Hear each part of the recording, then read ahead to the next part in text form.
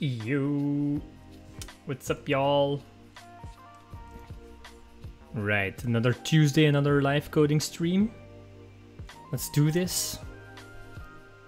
Um, I think last time I don't really remember where we left off, but um, really what we're trying to do today, as the stream title says, is we're gonna try and do some authentication, just um, to make sure that, you know, no one can hack into our code or hack into our application.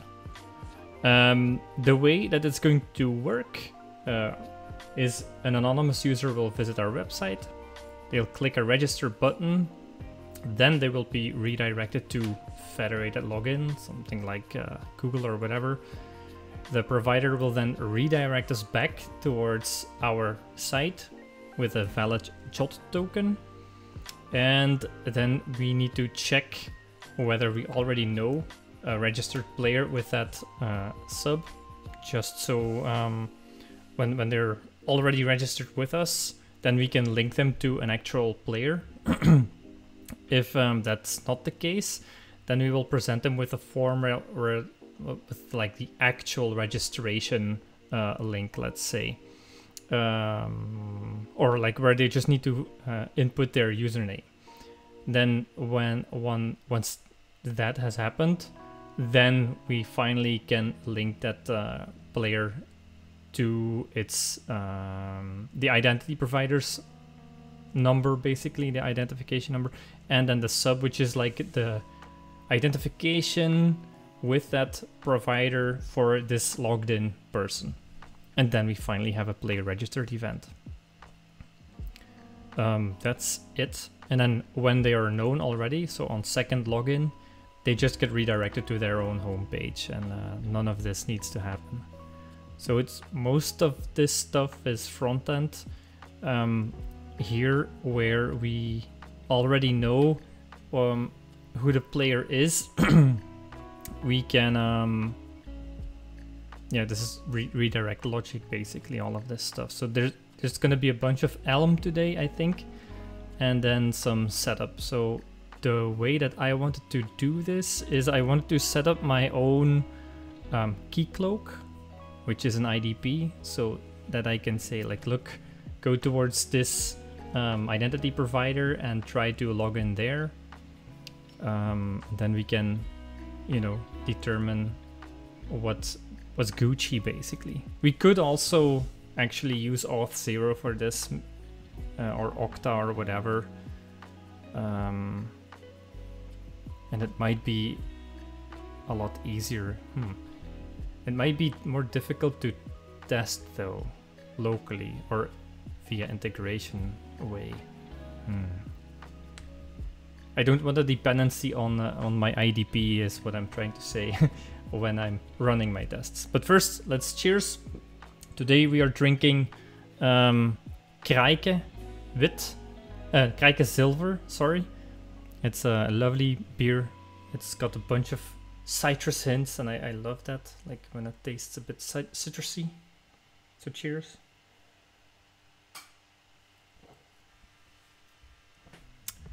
Mmm. Bitter and citrusy. Love it. Uh, yeah. Um, let's let's just try and do Keycloak. Uh, Keycloak, Docker Hub or something. I don't know. they should give us a Docker container that is going to run Keycloak.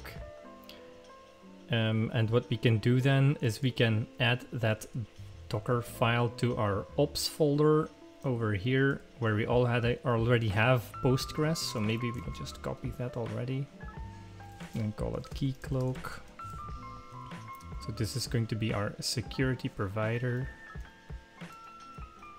or the place where we will redirect our users towards or anonymous people towards so that they can log in. Well, let's check it out, shall we? Um, so, I don't know, services.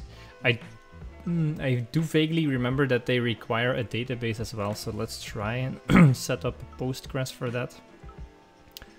So, so this would be Keycloaks, D, Keycloak DB or something. I don't know. Um, and then this part, so the other service Excuse me?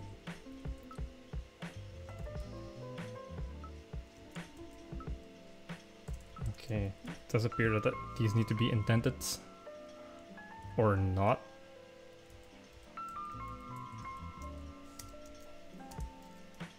Ah, damn these fucking spaces, I hate it so much.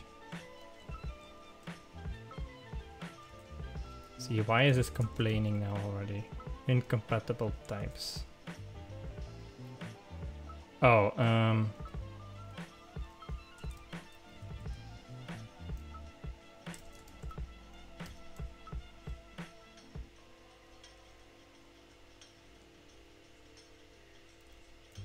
Something is off here, I think.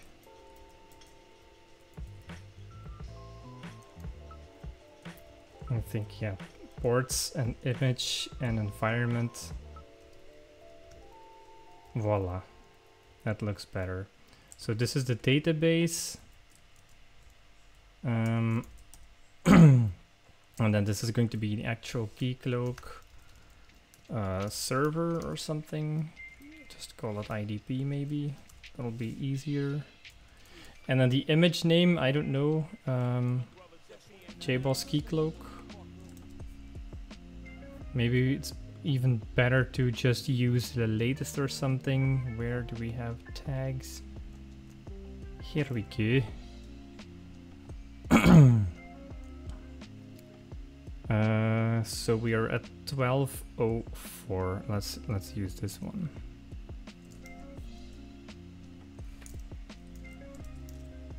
Voila.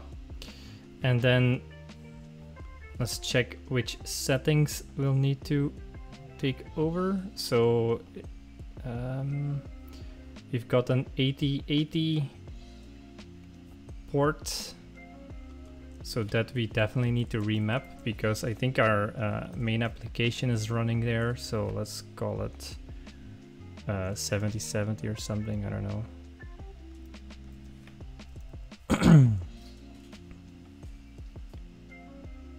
and then what? Oh yeah, there is no admin user, so okay, so we'll need two environment properties here.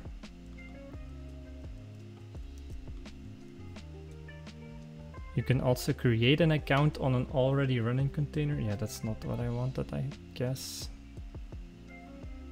Oh, maybe I should make it a little bit larger, then you can also read along.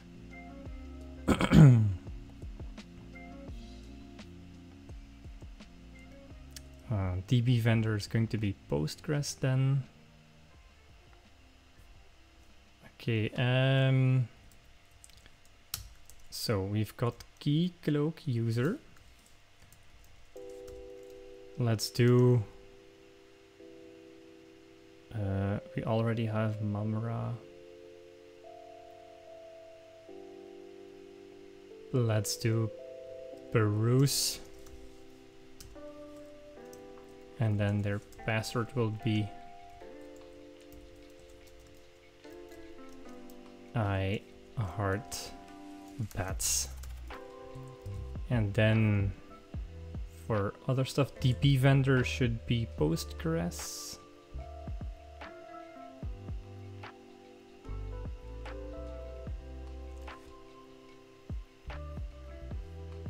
If it's not specified, it'll try to detect the DB vendor based on is the default host name for the DB set using get? No, I don't think that will be the case. Ah, okay, so we can, oh, this is deprecated, never mind. So we'll set DB vendor to just Postgres. and then we'll need this, I guess. So that would be uh, keycloak db, so referring to this one. Oh, we need to uh, definitely change this thing. So that would be, I don't know, 7654, I guess. And then we'll call it something else. So this is the uh, keycloak db. I don't care for the username and password.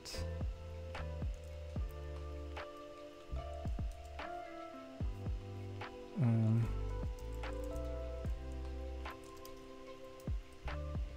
so that will be snarf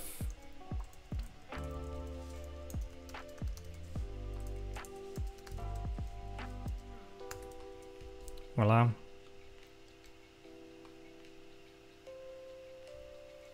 sure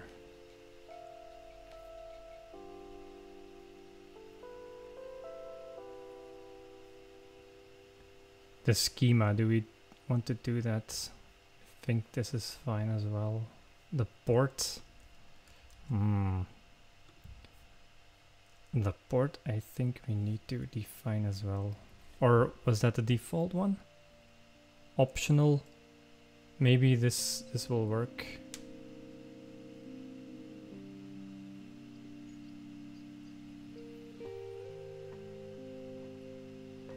I think this should be okay.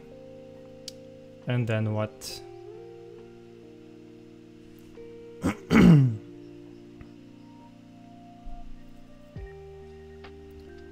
so we will be using Docker Compose to run this, so we don't need to set up our network explicitly because we'll have it implicitly if you just run it using Docker Compose.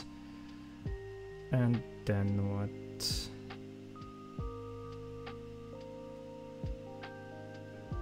Uh, here they do define the Postgres database though, so maybe we should do that as well.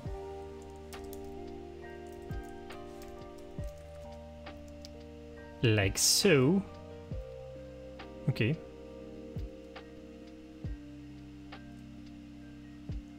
Maybe this is already good enough. Let's see what that thing does. Uh, so I'll docker compose dash f in ops keycloak and then just specify up. Oh wait, I do need to say it's this thing here, I believe.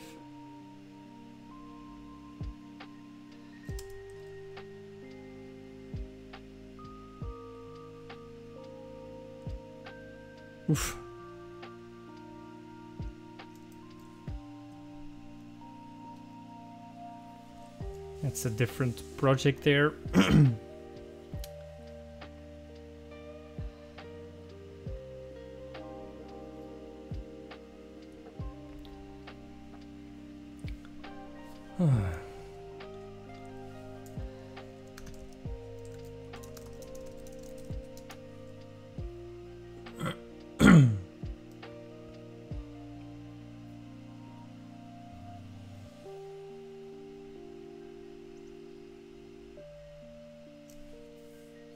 are pulling the latest, but we've specified the tag, so at least this part is going to work. would have been weird if it didn't. Um, and then the next step would be if we've got that stuff up and running. I vaguely remember that there was... Oh, maybe I didn't plug it in here. So there's an Elm OIDC. Um,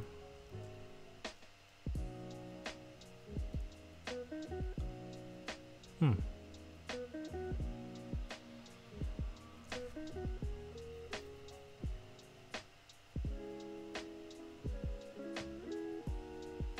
Authenticate Elm with OpenID Connect on an Auth0.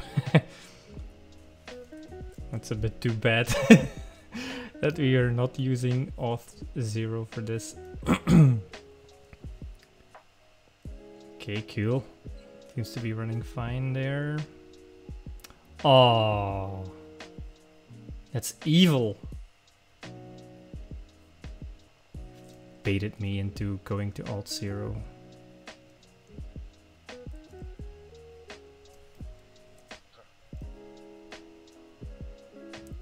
here we will find answers.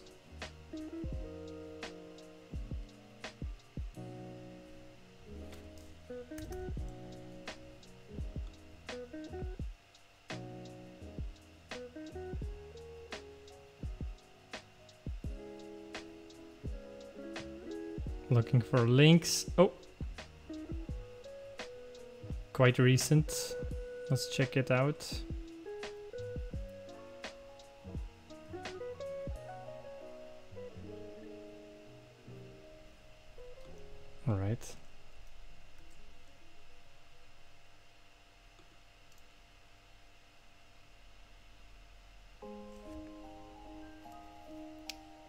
Let's do implicit.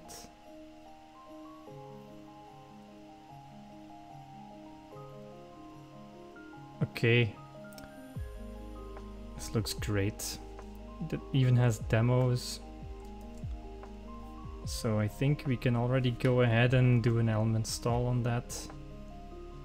As my... Uh, oh! Right, this seems to be loading? So the database is loaded and now... No, wait, it's the other way around. no, the database is done. Now it's starting up the IDP where it does say that using Postgres SQL as a database. Oh, it stopped. Is it trying to read? Uh, it's starting again. The hell? The batch executed su successfully.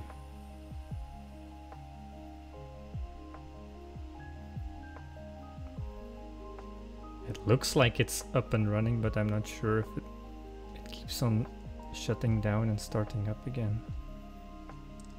Hope well hopefully this is just initially like this. Otherwise I have no idea what's going on. Fail to clean existing content. Bruh.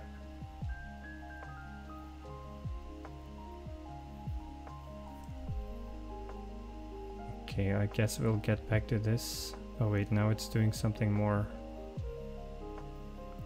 Started server. Well.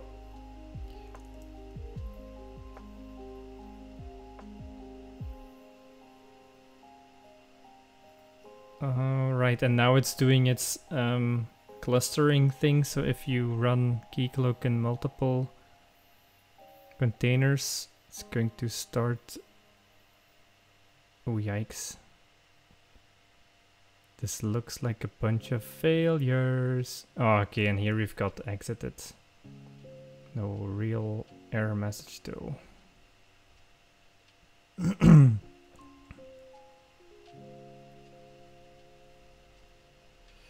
oh man, I vaguely remember this thing.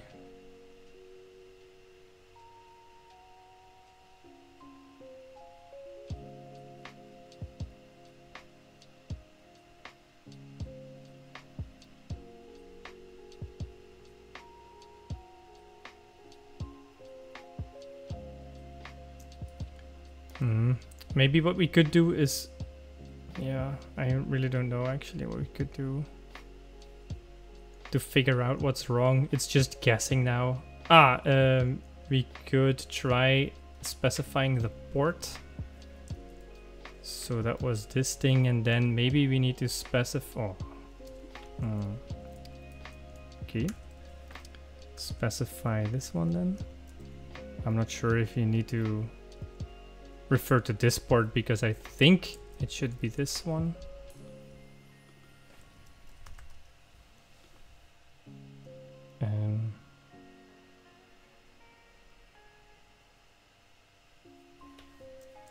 Let's just do that again. And then in the meanwhile, I can install some stuff.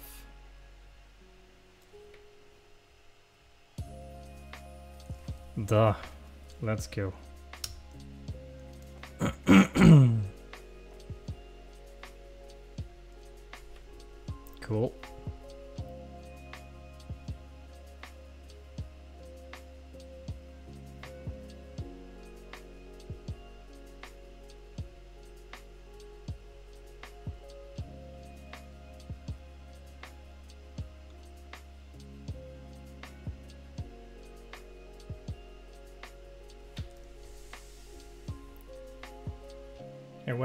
Going to get the same error message now as before.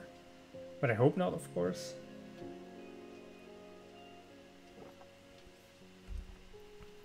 Or, well, actually, I do hope we get the same error message, because otherwise, just restarting it is going to fix our problem. and then we don't know why. Why?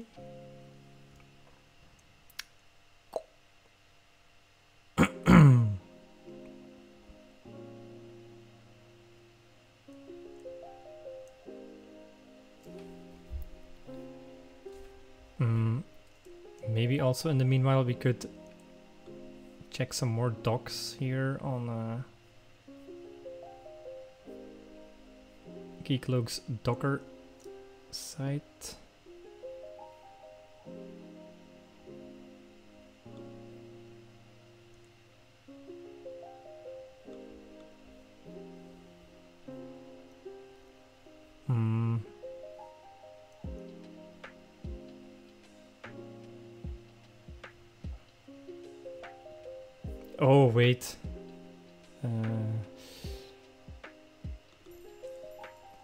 This is why uh, it's not going to work. It's called Keycloak DB and I should have called it key just Keycloak, that's probably why. Okay, let's just kill it and retry.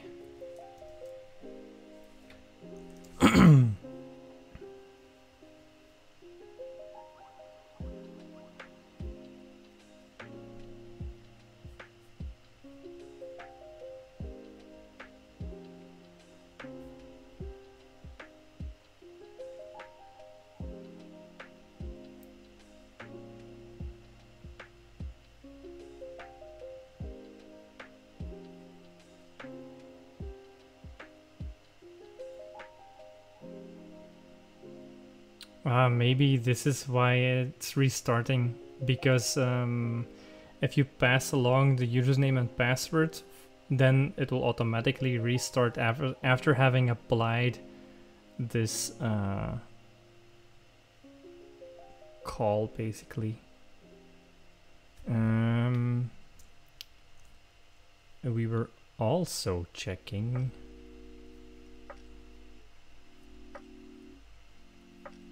Vault. That's, oh yeah, that SSL stuff. Oh boy. That I don't really care about. Okay, um, let's check out the examples. Let's just do Auth0 or something.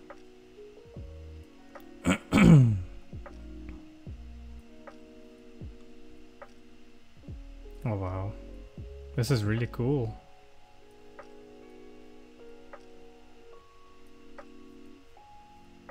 Alright. Source code, let's go. And quite recent, five months ago. Let's start this. Oh, but it's at 69. Do I want to be that person?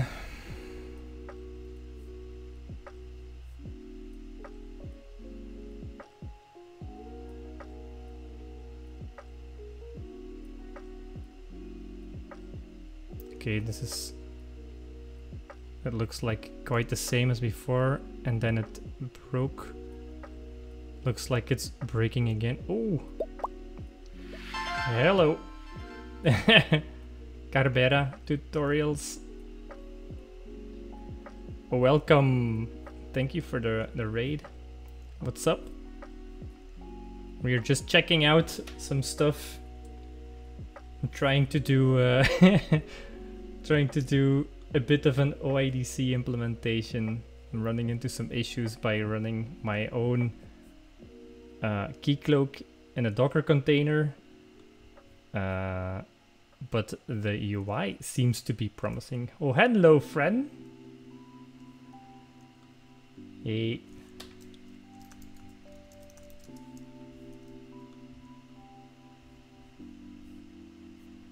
Uh, yeah. So if y'all have any idea how to fix this or how to, uh, I don't know, uh, read this in fact, well, what you doing? Maybe I shall start at the very beginning, maybe.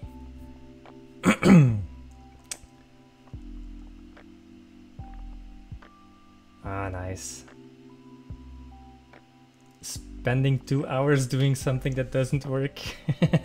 I feel you. that sounds very. It really hits home. home, let's say. Thank you for the raid. So what we're building is um, basically a, a, leaderboard website for some uh, video game online called Diabotical. It really doesn't matter all that much. But uh, the way it looks like... Uh, oh man, this is going really slow. Um, so we've got a UI and a backend. Wait, this, this is the wrong picture. We should be looking at this one. So it's just one single deployable that contains both a backend and Kotlin and Spring Boot. And uh, our UI, we'll, we're building an Elm functional programming language. We've got some event sourcing going on and uh, we're projecting stuff into a, re a, relational database. And right now we're trying to secure all of this um, using OIDC implicit flow, if that makes any sense to you. um, we're using clean architecture. Well, using, we're trying to do clean architecture like the proper way. It's quite difficult. And this is our dependency diagram showing that a bit. But maybe the thing that will make the most sense is uh, this part here, where we've got some players that are new. Once they're they're registered, they, uh, then a player registered event is fired. A leaderboard event listener uh, listens to that event, picks it up, puts it in the event stream, and then a timer goes off to rehydrate. It's called a leaderboard. Yeah, it is pretty complicated, but it's especially for a hobby project. I don't recommend doing this, but it's for uh, mostly learning, and I want to feel more confident in uh, with these kinds of architectures. So yeah, that's what I've been trying to do, and I've even have like this nice story map here, um, and uh, like a small little Kanban board where we've done all of this before um, we've got the, the walking skeleton walking now, actually. And we're really doing this one. But to do that, we need some way of authentication.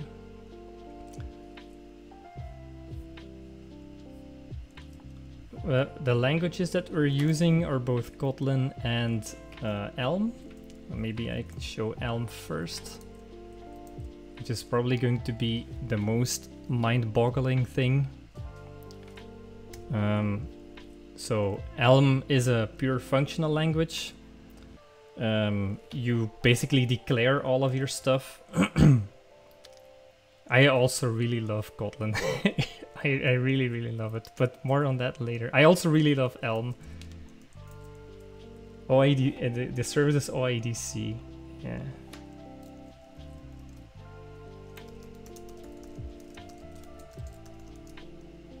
It's Open ID Connect. That's what OIDC stands for. And it's part of the OAuth 2 specification. But nobody cares about that stuff. uh, this is all there is to Elm basically. It's um, an application consisting of a bunch of functions. Uh, one is a view function, uh, an update function and uh, some subscriptions, but like uh, the model is mo more important to that, in fact. Um, and the beginning part is really just showing um, which pages we're going to be rendering. And um, yeah. So this looks complicated, but then maybe if we go to a registration scenario, which is going to be in Kotlin as well. So in, in Kotlin is that there's a nice feature. You can have spaces in your function names or your method names if you use backticks. And what we're doing here is we're setting up an anonymous user, uh, which then registers themselves. Then on successful registration, we get a player ID. Then we are going to verify this one, that the nickname is indeed equal to the one that was posted here. Then we're going to fetch all of the registered players and verify that there's only a single person in there, which is me. And we also do some checks on the event stream and uh, verify that the leaderboard was created with no rank and a score of zero. I I'm gonna need to catch up with chat a bit. Hang on. Eh? It's the case a lot where I make something and then I go, I would not recommend this. but those are like very good uh, lessons learned then I guess. And you know why you don't want to recommend it as well. Uh, that's the OIDC part. You hate phone keyboard. Alright. I understand. Which part are you stuck on? I've never used Can't guarantee I'll be able to, but I can try at least. Good night, Cider. Thanks for passing by.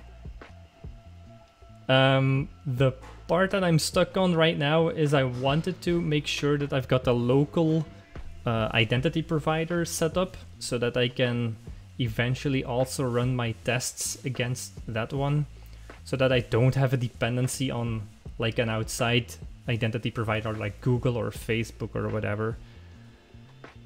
But I might need to find a different solution for that anyway. So I think to unblock myself, I can just decide right now to just start using Google, for example, or um, anything else really, like OAuth.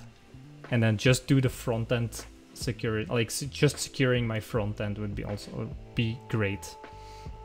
But after that, I'll need to uh, secure my REST API as well, of course. Uh, do I have a a nice diagram for that as well? I guess I don't. No, I don't. I don't have a, a component diagram. That's too bad. Oh yeah. Yeah, so that I, I understand, but it's really Keycloak. Getting getting Keycloak to run is the part that I'm stuck on. It's not really stuck, I guess. So if you know how to interpret this stuff, why is my executor being shut down? Uh, I could try running my database separately from uh, Keycloak itself, but then, yeah, whatever. Oh yeah, something I haven't tried yet is this. Maybe we can just try that and see what's going on there. And in the meanwhile, we can just try and tr try to understand how to use the uh, Elm OAuth 2 package to try and uh, yeah implement OIDC in our Elm app. So here they've got an example which is already a bit weird where they convert bytes into an init function. Don't know about that. Ah, and it's just to get random bytes. Cool. This is a bit different. Um, that's cool because I would love that. And then what? Here they've got some configuration, which I bet is part of the the this this Elm OAuth 2 module or package, I think it's called.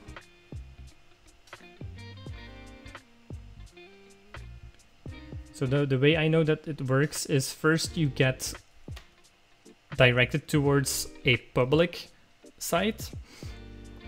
Then when you want to access a private part of the site, you should get redirected towards uh, authentication or author authorization. Sorry. ah.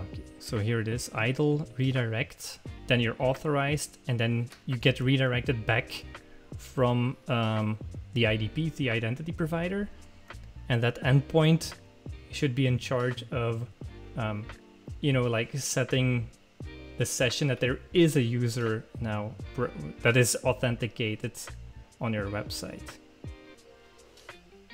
Mm, so what they seem to be doing here is they are going to make it really explicit which kind of state your app is in. So either you're idle or I guess unauthorized should also work. Uh, or you could be authorized and you have a token in that case. Done could be, I don't really know what that is. I guess if you receive your token, then you can go fetch the user information or something bad happened and you want to do something with the error. And that's this stuff. Cool. Here's the configuration that they've set up before. Where was that? Over here? Hmm. Was it the same kind of? I know, this is just uh, the model configuration. It's a bit uh, weird, huh? And then what? Yeah, so I am indeed using a, a specific library for the OIDC stuff. It's the Elm OAuth 2 uh, library. I'm gonna link that right here. and this one, yeah, I, I hope should be helpful. I think it already looks quite nice. And it's been recently updated even, so yeah. Sounds promising.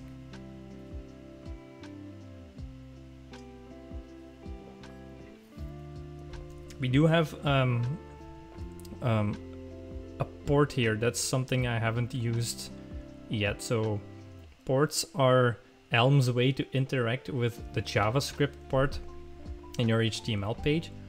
So um, it's gonna be maybe a bit difficult to um, to understand that part. so we expect there to be a gen random bytes and a random bytes uh, function in our um, JavaScript function, I mean, in our HTML somewhere. So that's why this is uh, listed like that. So somewhere in the HTML, this is gonna be there, but then I guess I also expect this thing to be there. Okay. Anywho, what do they do in the update function? Here they're going to... Ah, this is already really cool because they're checking only the flow part of uh, the model, so that would be also really nice for us. Since we need to do some routing based on whether or not you're logged in.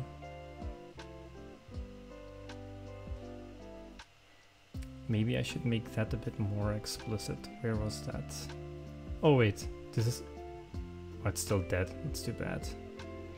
Um, somewhere here. Yeah, authentication flow. Ah. I guess I'd rather express this in uh, actual pages now because uh, now you don't really see which page you're on. Um, but we can for show copy paste that somewhere. So if an anonymous user visits the website, hmm, maybe I can, it's already running though, so maybe I can run.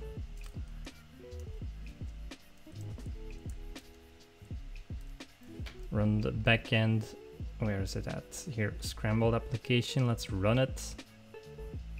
Yeah, there is UI. I was just about to show it and make it a bit more interesting for y'all. Uh, but I have to spin up my backend for that. And I'm not sure if the correct Docker containers are up and running for that. Up and up. So these are both uh, for my project indeed. So they are up and running. And now we have to wait, I guess, for the backend to start up. And then in the meanwhile, I can sort of figure out what to show. We've got two pages now um, that I can show. We've got one called home and then the other one called registration. Ah, uh, maybe I can already show it here actually. So this is what the anonymous homepage looks like. So if you're not logged in, you're greeted with uh, just the leaderboard, who is uh, where and which rank.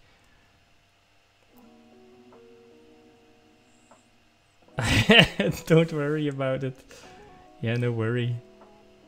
It's a, it's a very uh, complex part, in fact. People always act as if it's really uh, simple or like easy to do, but it's definitely not. I think it's really, really complex.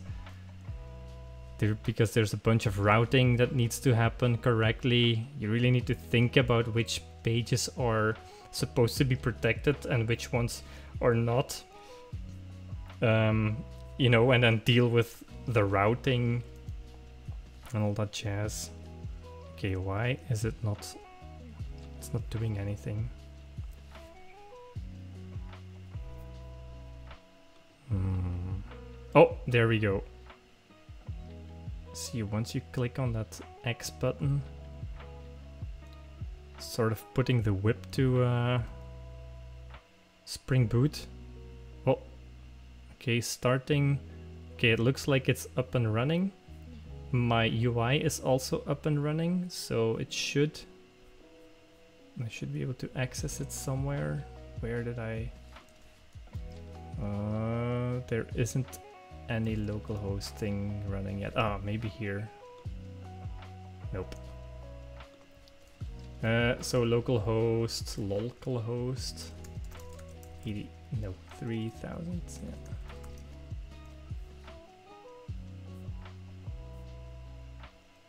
Oh no, it was, now I don't remember.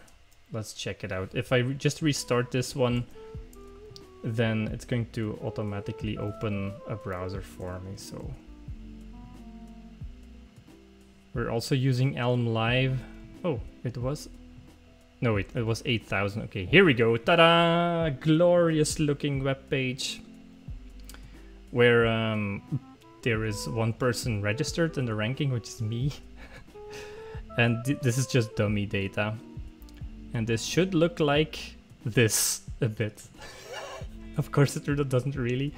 But we can do navigation now. So if you're anonymous and you want to register, you can click on this thing here. And then uh, join.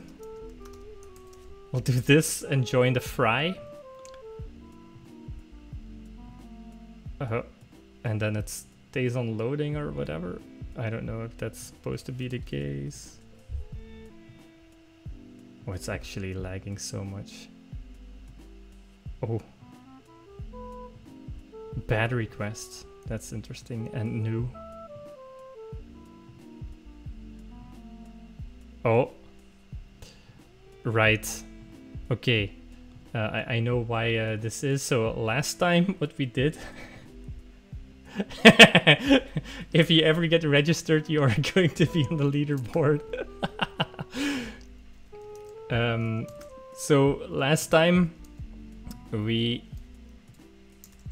messed around with a registration controller and we um, passed along um, is it this one? This should have a post mapping there we go of a register player. So the info that is required to to register somebody. And here we uh, need both the nickname and the jot.iss and jot.sub stuff so for that, we don't we, we don't pass this along yet in our UI. So maybe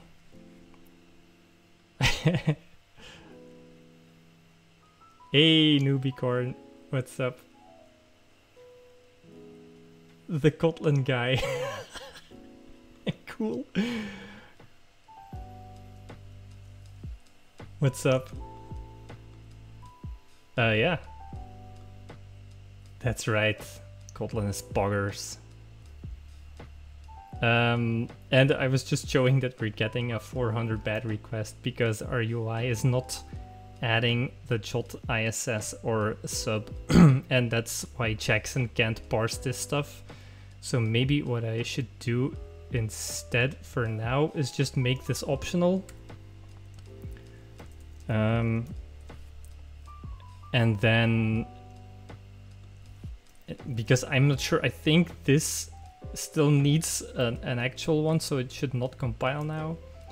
I'm making a Kotlin, well, I'm making a website um, using Kotlin as a in the back end, but then Elm in the front end. Thanks for following, by the way. So maybe here we can just say uh, some ISS or something, I don't really know. And here we'll just map that as well to uh, one, two, three, I don't know. Well, actually, this is not Ktor, but I do have uh, a Ktor implementation as well. And I was like, as a side project on my side project, which is this one, I was trying to use Ktor instead of um, Spring Boot. So for those unawares, we've got uh, the, the more, oh damn, what's that, idiomatic Kotlin way of working. Yeah, and the, the more idiomatic way of working is to use uh, Ktor because it's more descriptive, I would say. Um, but yeah, so this REST API module is all Spring Boot, and then the Ktor API is all Ktor, but I, I'm not uh, there yet. Oh, I'm also looking for more advanced stuff in Kotlin, but I'm not sure what you really mean by advanced. Um, but I do have a bunch of stuff on my YouTube. I wonder if I configured Nightbot. Oh, I did not. That's too bad. uh, but hang on, eh? I will just link it and then... Uh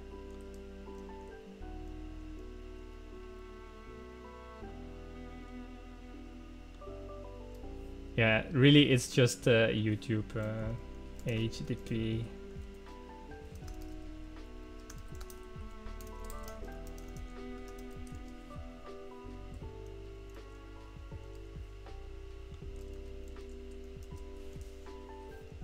Hang on.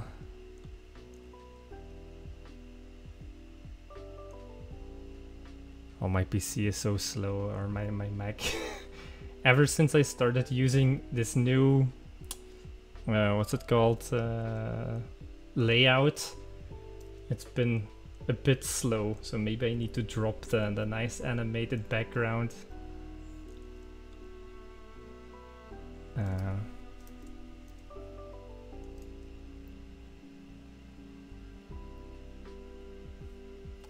why don't I use material theme in the Elm UI maybe? Um, that's a good question. I don't really know.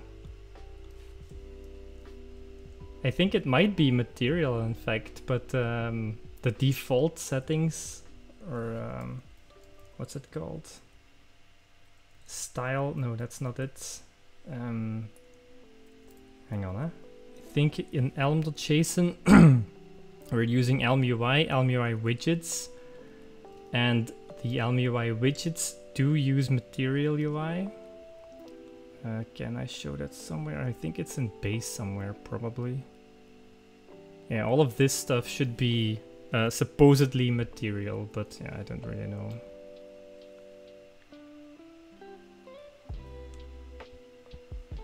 Oh, you mean material theme for IntelliJ, maybe? That I, I don't, yeah. I don't really care that much about it, but I'll check it out afterwards. Yeah. Um, I'll check it out afterwards for sure. So, okay, so now we've fixed quote unquote, we've uh, hacked our way into allowing registration, and then Carbera can maybe finally become one of the people on the registered on on the ranking. Oh my god, it's really super slow. I was wondering, uh, do you know if um, if I if I were to use a streaming card like what's that called, like an Elgato or whatever, does it offload the processing power that Streamlabs takes or like the OBS?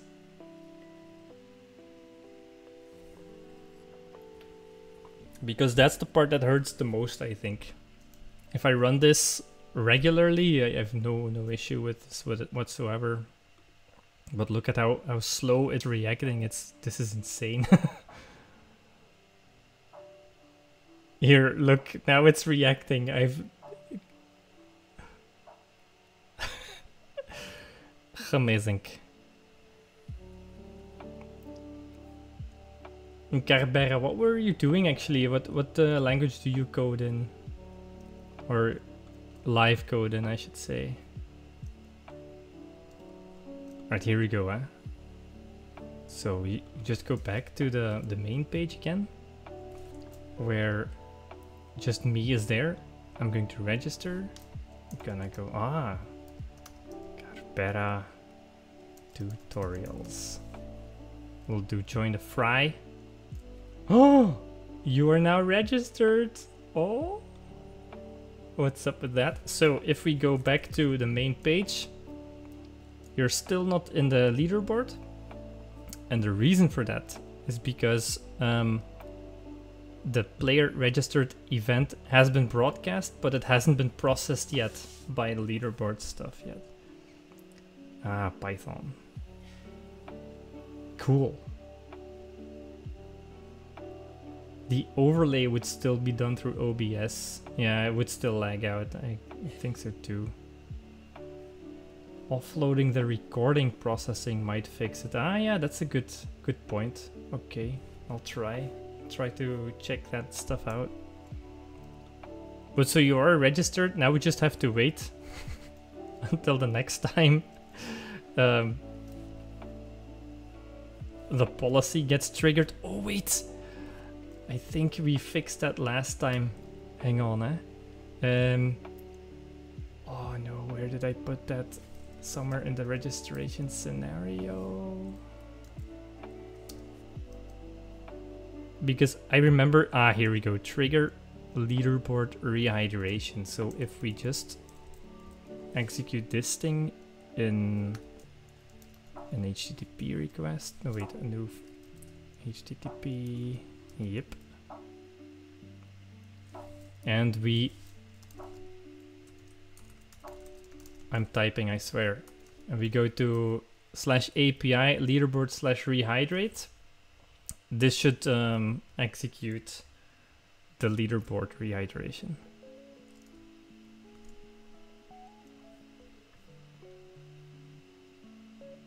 Oh, I was doing a get. That's not smart.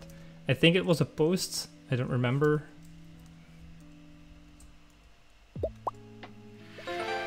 Oh, broadcasted. Regenerate triggered with two players. Here we go. And now we just refresh. And you're in the leaderboard, my friend. cool, eh? Thanks for following, by the way. Hey! It's nice, huh?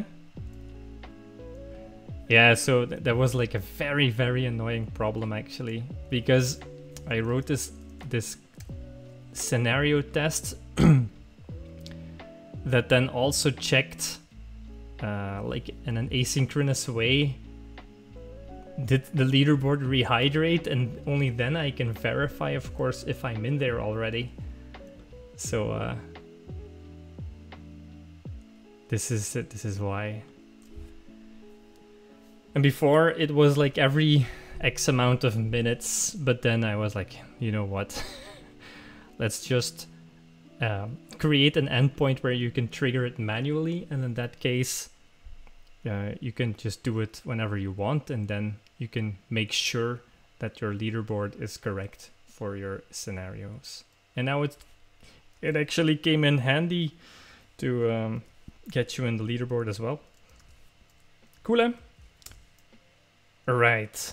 So this is like something I, I really need to fix somehow. It can't really be um, how do you say this is like very incomplete code. Corgi Corgi? There. What the hurl? Okay. Let me write that down somewhere.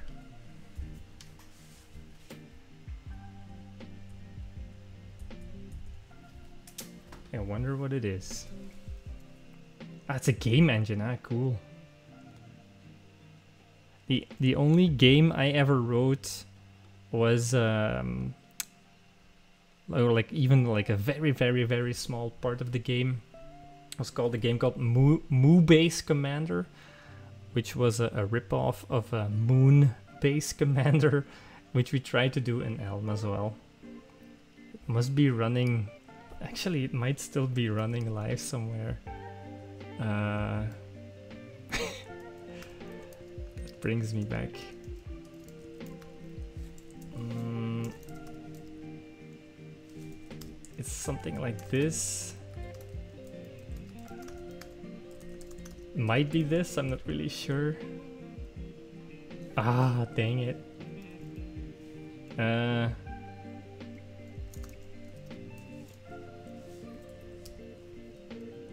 I vaguely, vaguely, vaguely remember how this works, so Allez, ah, voilà. Here there should be moo, moo base command. Maybe it's on my own repository then. It would be sad a bit.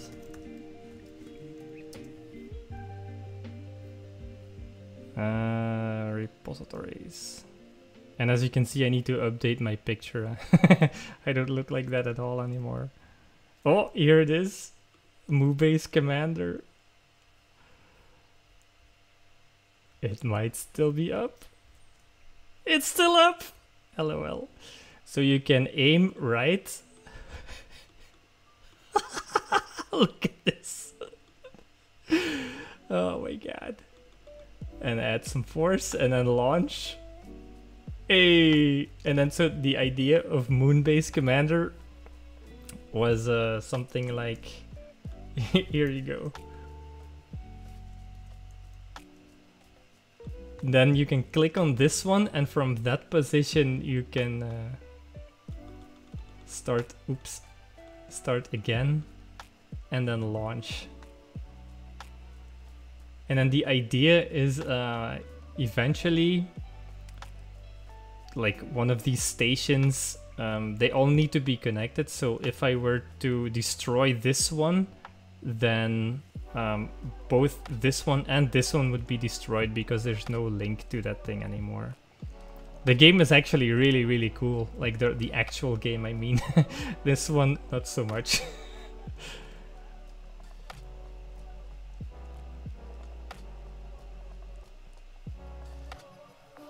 Ah yeah. If you like uh, execution time, you should look at Go. Eh? Or Rust actually.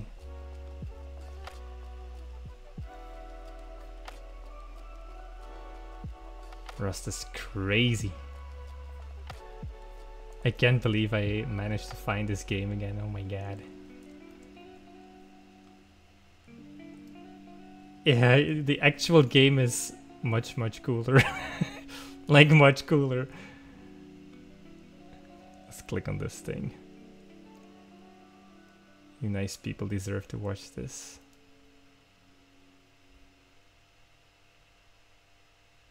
Oh boy.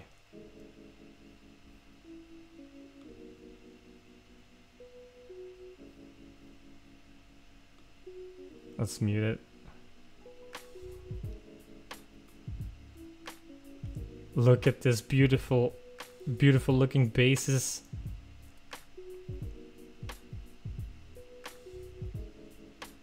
Look at this. This is so cool.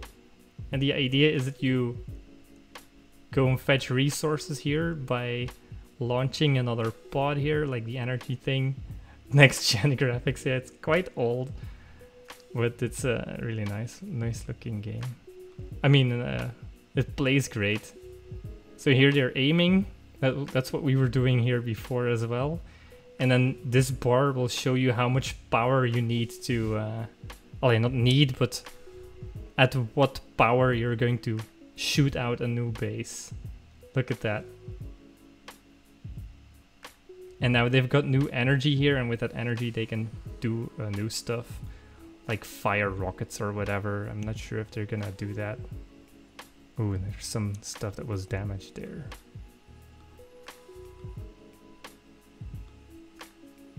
That's repairing.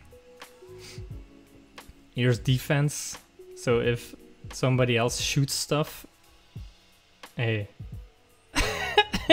Honestly, this game is amazing. But so that's the thing that we were trying to build in uh, uh, in Elm. I think it, it might be on. Oh, I remember we tried installing it, and I think it might have been on Steam, but I don't remember. I don't remember. I had such good times with that game back in the days. but yeah.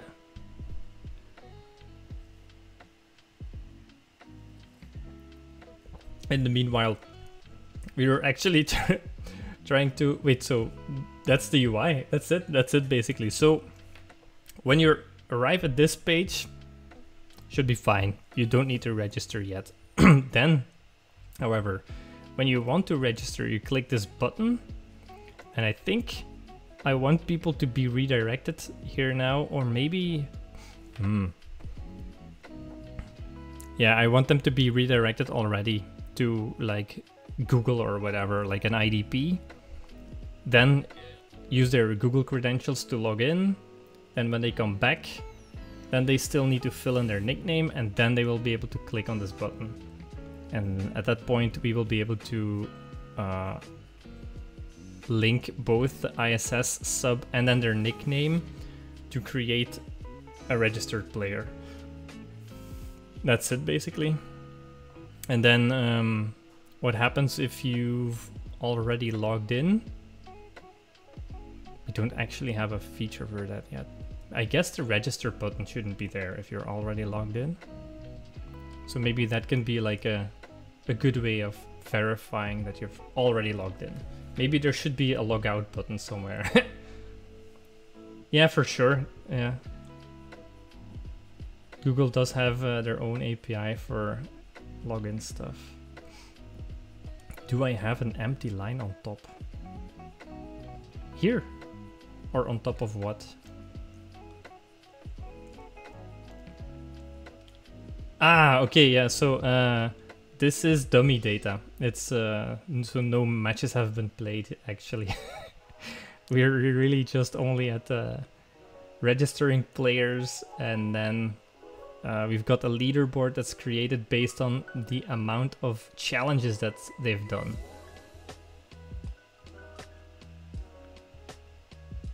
Yeah, yeah, this stuff is just hard-coded. Maybe I, I really shouldn't actually just put it there. It's very confusing. You're not the first one that, that asked that question.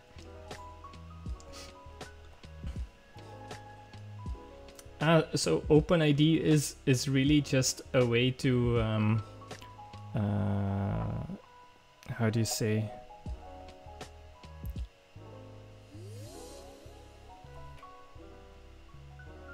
It's a specification to get somebody to visit your website as an authenticated person, an authenticated user. So you there's just it's nothing more than a protocol of like stuff going back and forth between uh, different applications really. And one of the applications is uh, is us, the the web the web application here, and then the other application is Google, and they are providing the authentication part. So they're basically the the identity provider. So they they they look at you, they say like, who are you? Oh, you're Tim. Okay, nice. What's your password? Oh, this. Okay, nice. We've checked our logs and uh, we we can guarantee that you are indeed Tim here you go.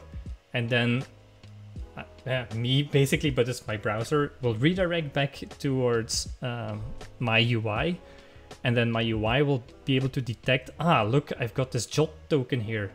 Now I know that Tim is indeed authenticated and I can do stuff with that and trust that stuff. Where did you learn Kotlin? Um, God, that's a good question.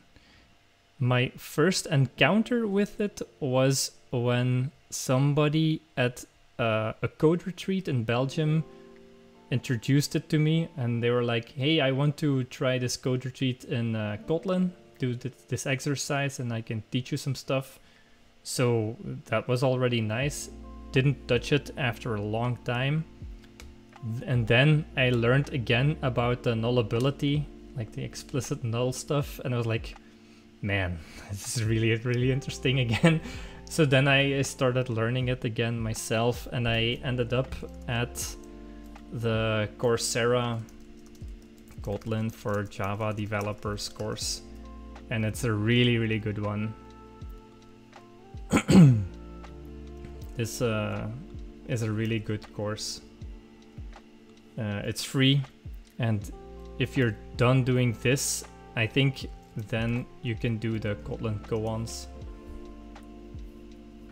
Yeah, I mean, it's called for Java developers, but really it's just a bunch of exercises. I don't even think that they touch a bunch of Java stuff in any case, so. Uh, and then the koans are also really nice. Yeah. Here, you can play with koans online.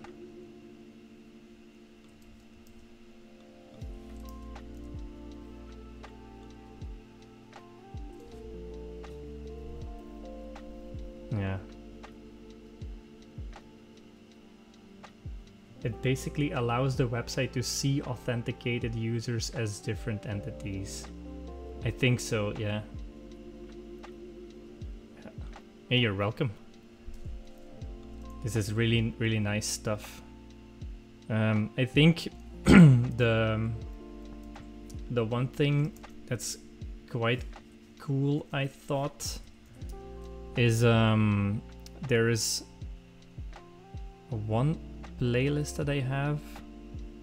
So I've been doing this for a while, by by the way. Here, this is a really, uh, if you want advanced features, the here I'm building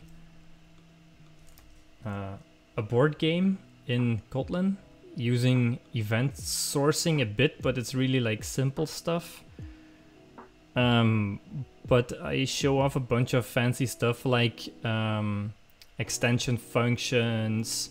Maybe that I can already show as well. You're gonna really like that. Where you can be like extremely expressive by using extension functions and keeping them private. Um, maybe it's here. Um, yeah, I think it's here. In fact, I'm not really sure. Let's see. Yeah. All right, so this is like the main function you need to look at.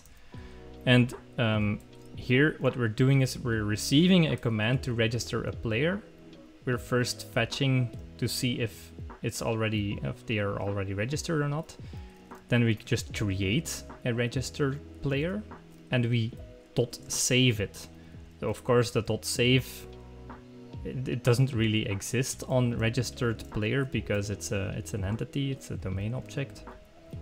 Um, but so why is it that you can still call this? Well, because I have a private extension function that uses the collaborator player repository and it's a collaborator of the registered player handler. So you can um, basically inject any stuff you want, but then still make it look nice and concise.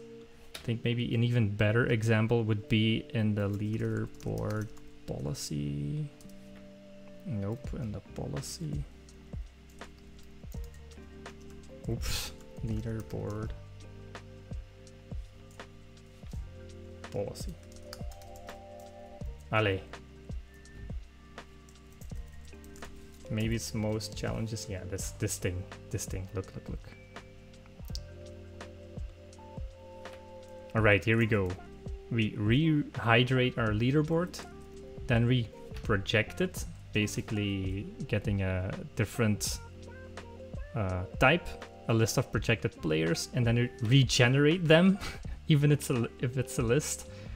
And the regenerate does the does a wipe and then a store of uh, this list.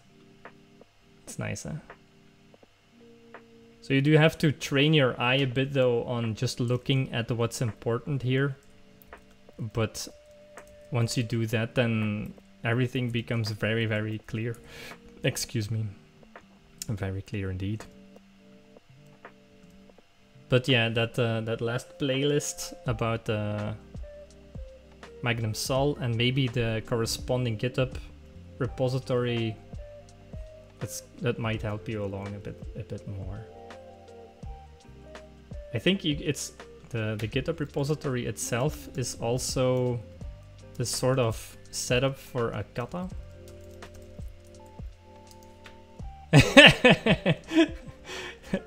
I'm sorry.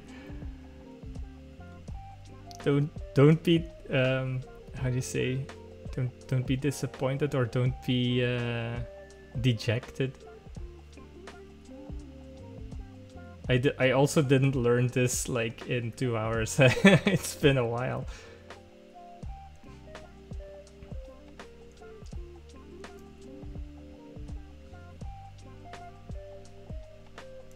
And it'll provide an iteration interface for you.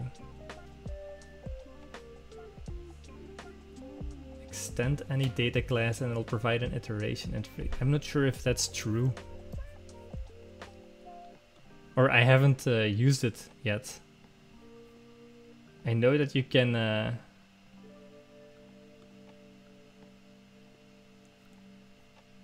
if you say that something is an iterable, or... Um, uh, ah, maybe this is like a, another cool part here. Dot generate a custom function.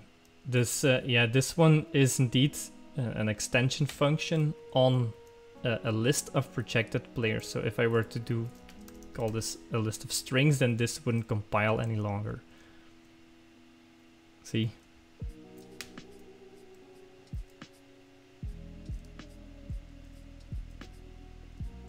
So I'm um, declaring this function after the facts basically on a type that I normally don't have control uh, over.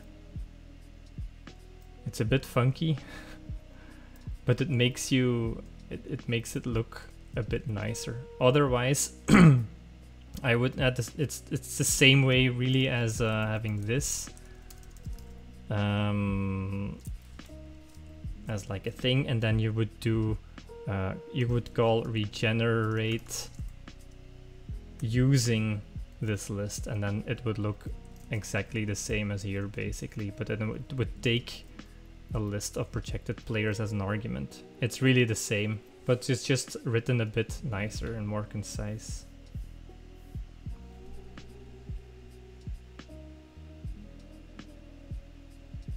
Yeah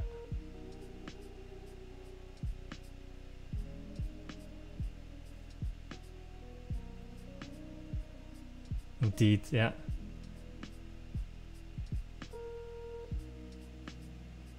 You can use functions before defining them as well.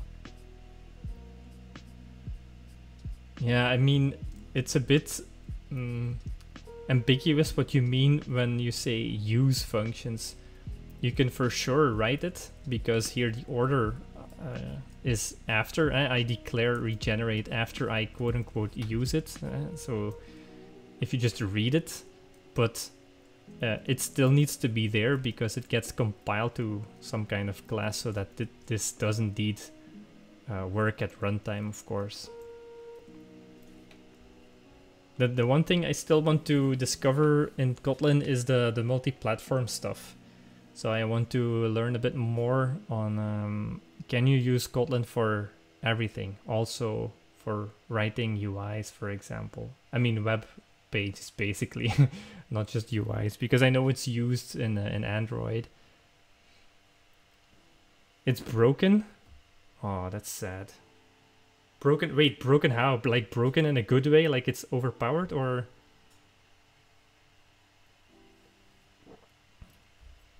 That could also be a Kotlin JS or Kotlin React. Ah, cool. Oh, I see. you can mess up pretty badly. That's that's not the Kotlin way. Kotlin is about making stuff that doesn't break. And Elm is even further down that road, which is why I love it so much. Yeah. Ah, so you you you did already have experience with that. Oh, I see. Yeah. Yeah, I still want to experiment a bit with it anyway. Alright. Cheers, Carbera. Thanks again for rating and uh, have a nice uh, meal, I would say. I have no idea what time zone you're in. Could be dinner, could be breakfast. Their new UI thing. Oh, uh, this vaguely rings a bell. Hashtag their new UI I think I think I have seen it. The name escapes me.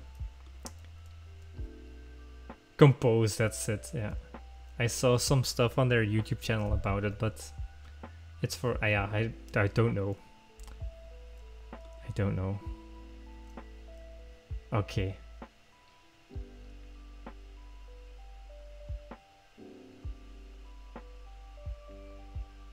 Compose is amazing. Okay, cool.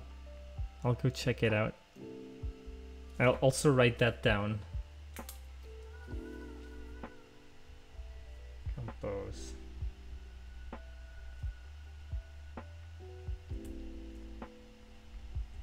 There we go. It's kinda annoying. okay. Ah, okay. It's for making desktop clients. I see. Yeah, the thing is, the stuff I'm doing now, if you if you think hard about it or hard enough about it, it, would still be applicable to my day job. I mean, I could start using Kotlin at work any day now. If somebody's watching, please let me do some Kotlin. Um, but yeah, fat clients we rarely we rarely do. Yeah. Ah, it's just not stable yet. Okay. Yeah, okay, looking forward to when it is, in fact. Yeah. Need to do more stuff. Uh, also become a streamer, Newbicorn. Then you've got an excuse to uh, do Kotlin. That's also my approach. Just learn while streaming. People will, will come on your stream and help you. Or at least that's my ex or that's been my experience. Me too, yeah, me too. Alright. Uh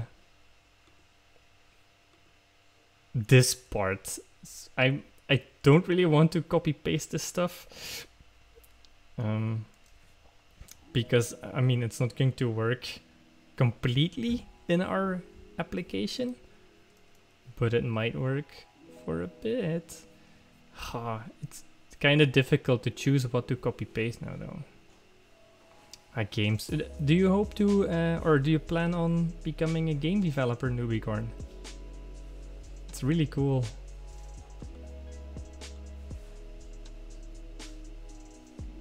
Hmm, let me see if they also have their HTML somewhere. Oh. I'm afraid I don't. Or, or maybe in here? Nope.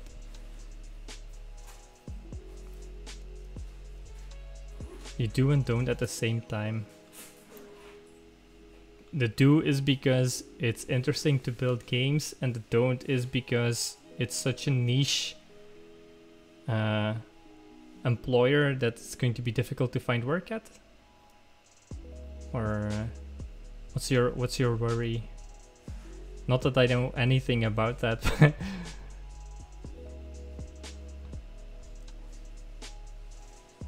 oh yeah. Yeah, yeah, I see.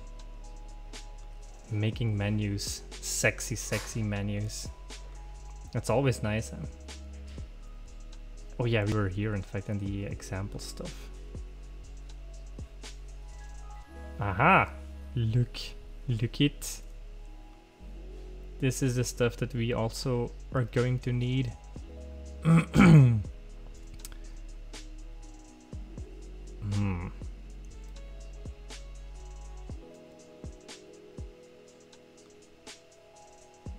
Oof. I don't know why they would do this. Ah, that's maybe... Oof, this is already quite... Um, quite extensive uh, security, I, I guess. Because they randomize some token that they that they match to your browser upon revisiting it or something like that. Oof. That's quite quite complex. But you know what? Let's jam it in there anyway. Here's the script. Uh, voila. Flags starting state.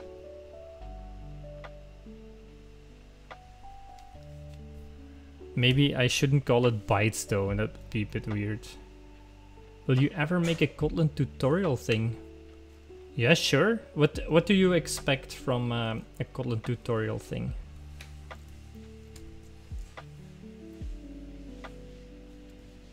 It seems like a great idea. Let's do text. Oh, I should have done markdown in fact.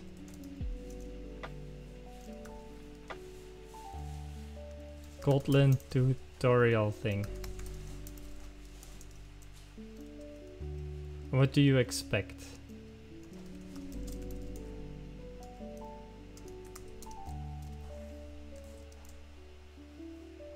Basics.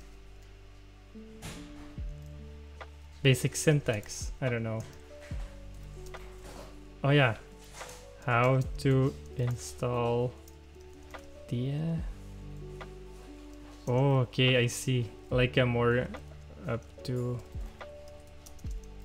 websites, databases, UIs. Dot dot dot.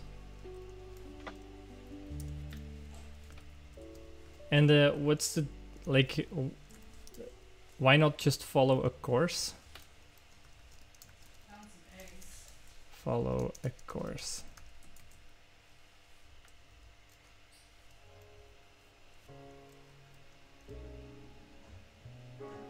Hmm. Why would I rather watch a Twitch streamer or maybe a YouTube channel? More easily accessible?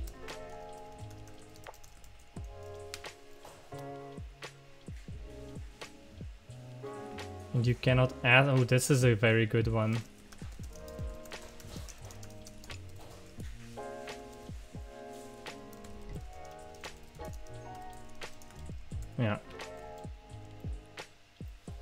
That's very true. Yeah.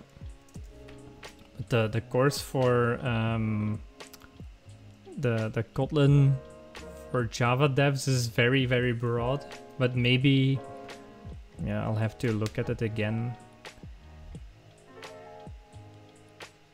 The other cool thing I think about that course is um, it sort of forces you to first make exercises that you can use and solve within your browser um, which you need to fill in then, and only then you can continue with the next uh, chapters, let's say. So it sort of checks the previous checked or the next chapters will check whether or not you've understood the previous one. So that's really nice. Yeah. cost money. So basically what you're saying is if I make a good course, I can charge money for it. Kidding, of course, kidding. Basic syntax, maybe like I want to do uh, some cool stuff like show extension functions, uh, the maybe as a first thing this nullable types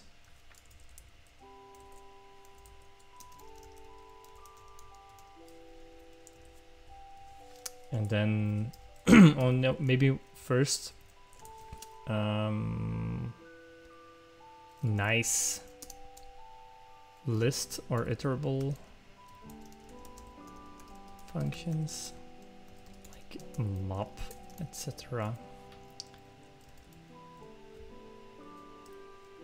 you can't really always skip stuff you already know or don't care about. This is also very true.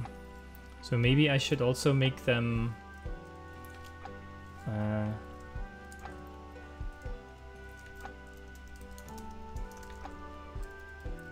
always skip through stuff you already know about. So make short and sweet tutorial bits. That's it, I guess. Yeah, nice. Okay. This sounds like a, a project though, so I think I'll need to think about when when to do this, or maybe like as an in-between thing, like an in-between mm, mm, this thing that I'm trying to finish as well. Like finish. Go further in learning for uh, personal gain, let's say. Like knowledge, I mean. Yeah. But yeah, thanks for the suggestion. I think it's cool. Cool. I'll go uh, check when I when I have time to build this. I think it's it's quite quite okay. Eh? The time that you've in, that I invest in this should be okay. Non-Android. Ah, that's why as well. Not many non-Android Kotlin tutorials. That's I've also found on uh, on YouTube. Like I was looking for this kind of content myself and I didn't find it. That's true. All right. Okay, so uh, this I will keep in, I don't know, where do I keep that?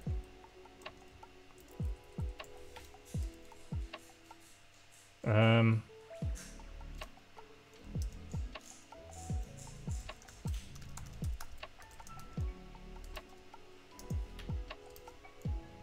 Voila.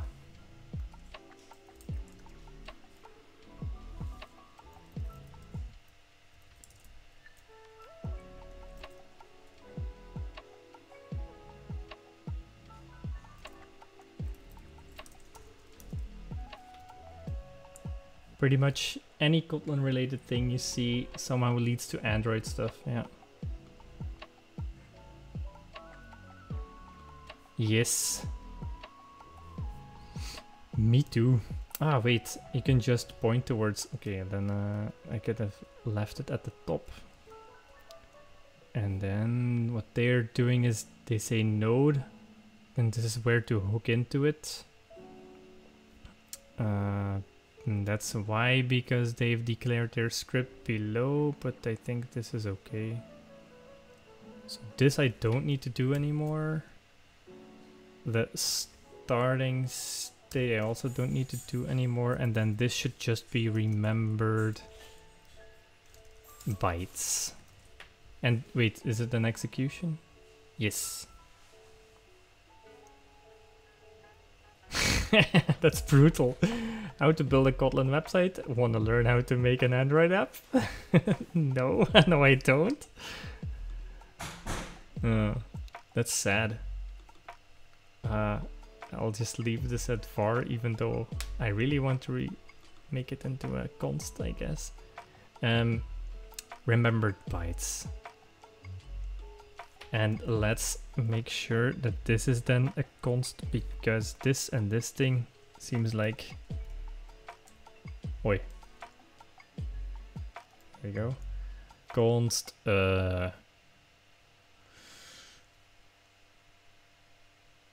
Jesus.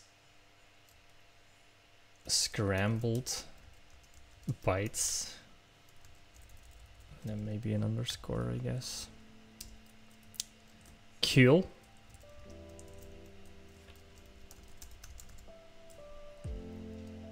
And this is the key. Maybe I should call it key. Key. Voila. And then I can reuse it over meow. There we go.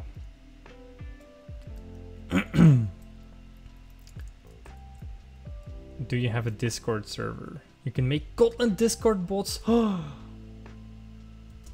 That's actually on the planning somewhere.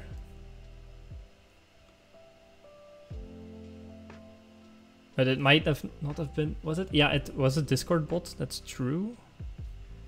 Uh, somewhere, somewhere, somewhere.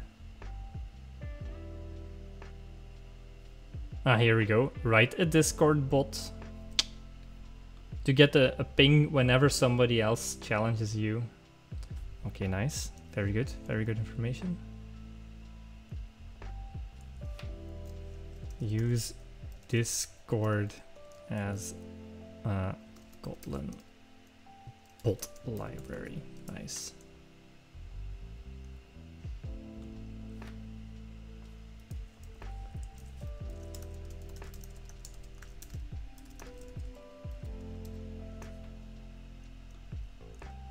Cool.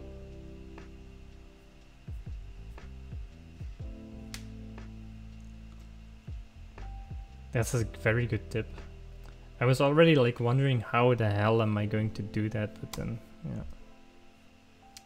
Oh, okay, nice. And then they've got the getting started. Cool. Well, definitely will. Can I copy that link? I can't, but I can't click on it. That makes no sense. Streamlabs. Um, I will also add it here. Nice. Cool. So this is the stuff that we need to use with Elm to call that stuff. So then this stuff is gonna kick in.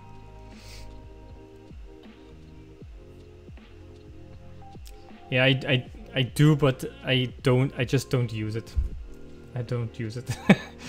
so it makes no it makes no sense for me to have it. It was just like a way to have it. It makes it, it I don't do I don't use it. Should have just um, never never done that. That's like a next level audience interaction stuff. Like I would feel um, obligated to continuously check that stuff, and I'm already too busy checking other stuff, if you know what I mean. It's... I use it as a place to store links. Hmm. But why not Miro? I can use Miro for that.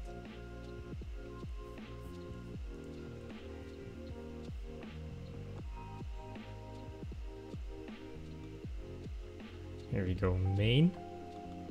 I get suggestions. That's true. Yeah, maybe I need to be less of a...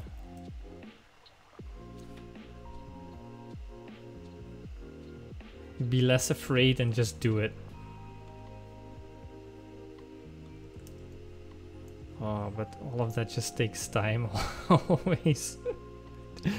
I don't know. I'll I'll look into it, I promise. I will look into it. Um, I forget what this thing meant.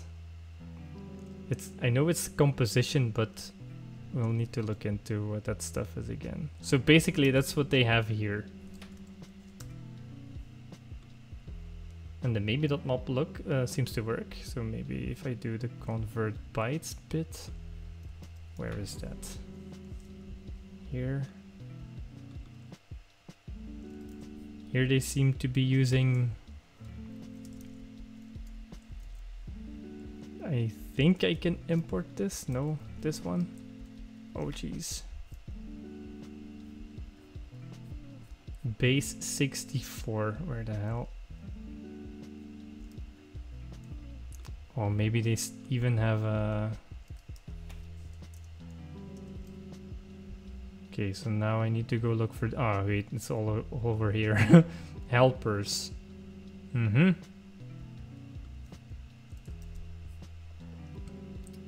Should really just move this to uh, some other place, of course.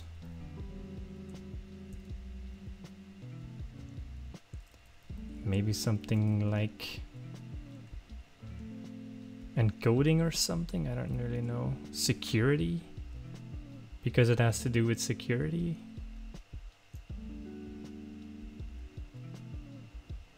It doesn't expose any any other types anyway, so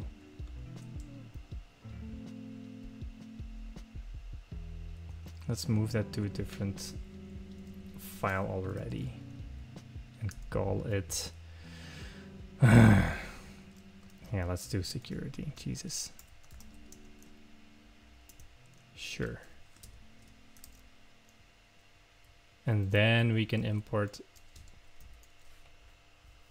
bytes. Uh, maybe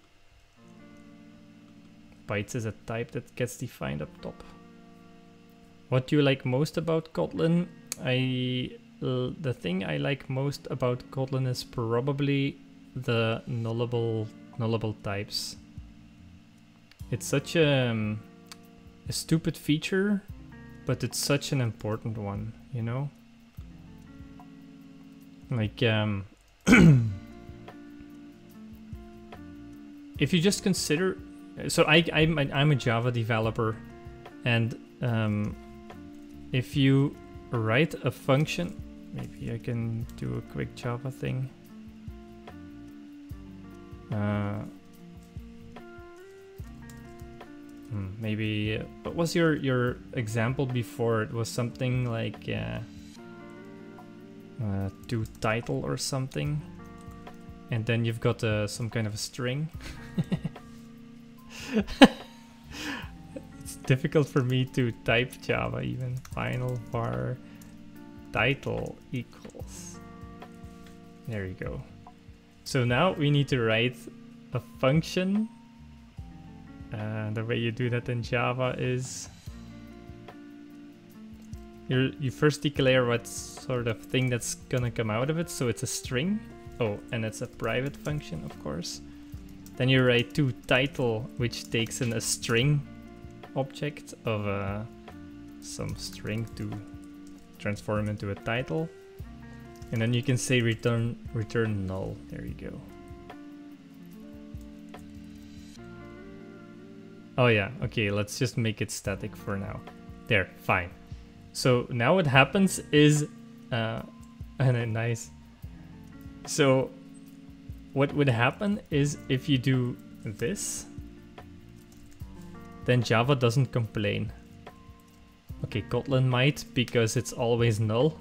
I mean, uh, IntelliJ might, but because it's always null. But you can, it's it's still compiling, and that's just the thing that if you want to make sure that your to title function uh, works, maybe now it doesn't really make sense all that much. So what's it called?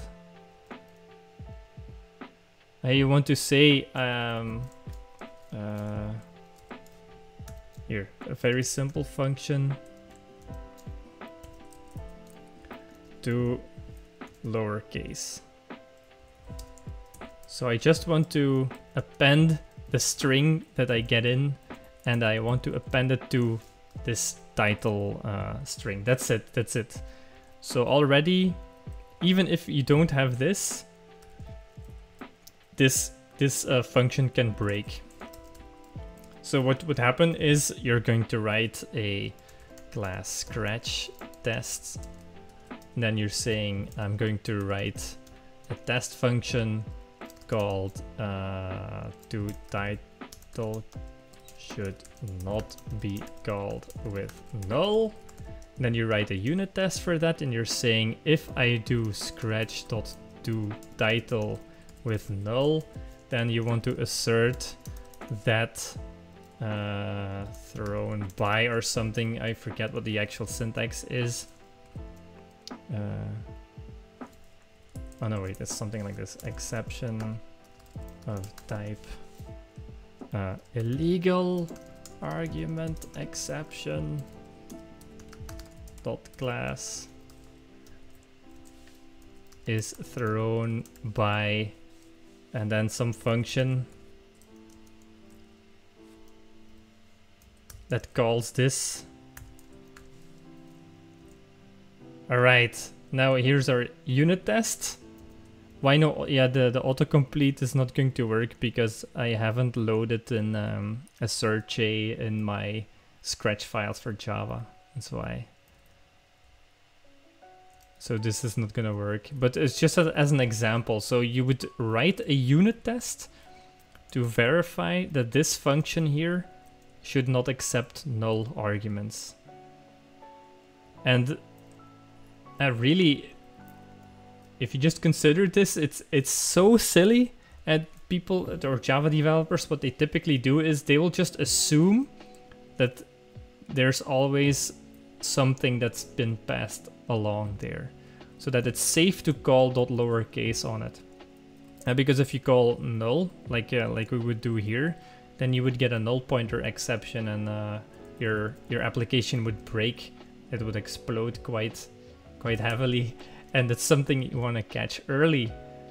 So what you need to do to circumvent this in Java and not write a unit test for that is you would need to wrap this in a type like um, um, my important book title, or maybe it's just a book title that we want to book name. Here we go.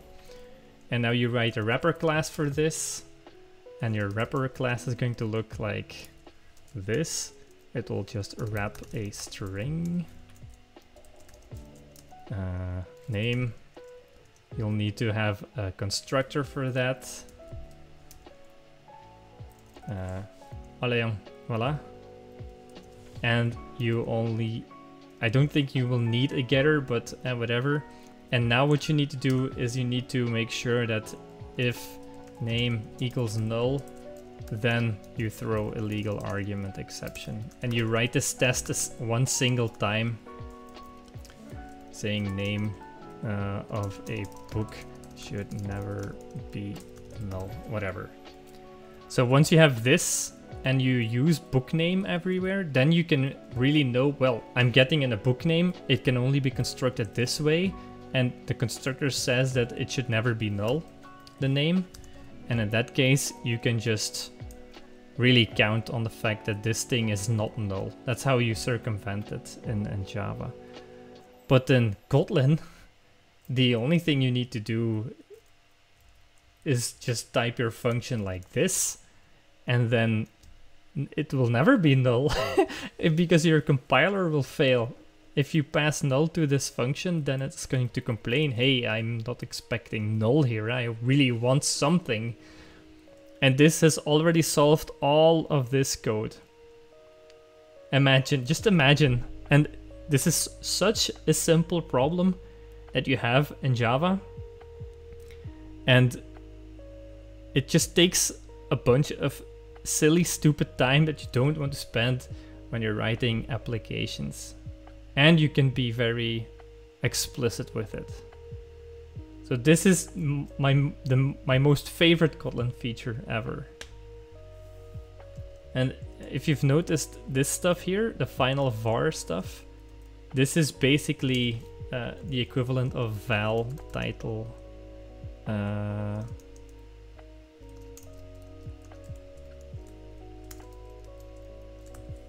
of this in uh, in Kotlin. That's the same thing. So final var is an immutable um, local variable basically. Yeah. Yeah, and before, uh, so this is still Java, you can still write that. Normally, or before, in the olden days, you needed to write it like this, and then you didn't get the, the type inference from the function calling uh, afterwards. So you would need to write your, your code like that, and then if you had um, integer uh, ISBN or whatever, it would look all wonky and now you can make it look like a little bit more readable like when you're declaring some variables you could do it like that var is used if you don't want to specify the type. That's correct. Yeah. In java eh? in java. Uh, but so and java is uh, how do you say that? Like it's migrating towards um, using more Kotlin features because um, like data classes because for this the, the stuff I didn't write you should still also write because book name is um, a value object is what we call that where you have to implement uh, an equals and a hash code for that and then typically also a getter get name but no setter because you only want to construct it one way. And then the other thing is you also want is you want this to be a construct a static factory method, something like that.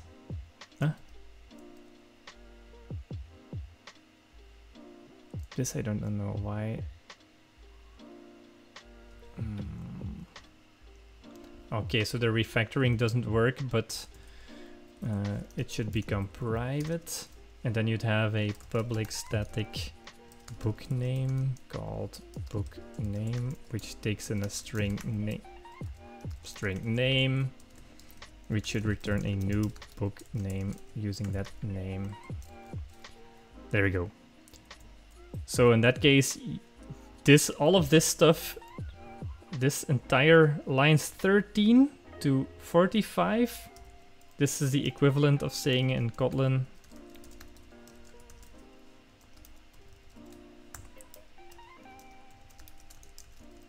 Uh,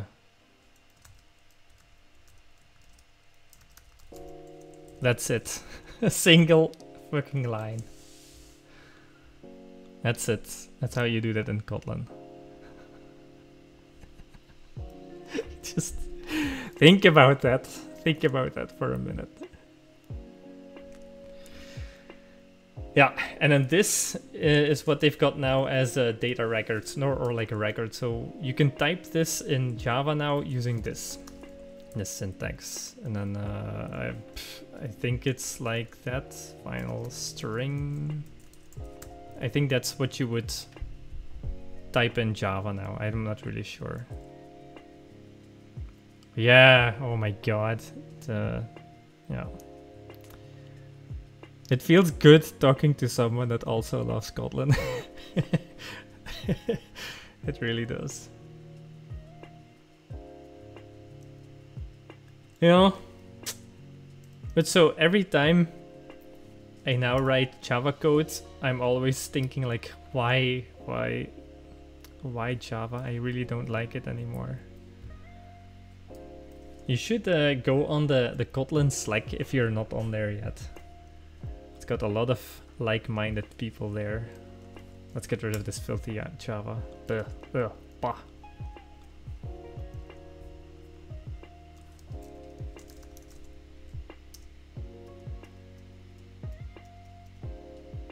I'm looking for the type bytes. I can't find it.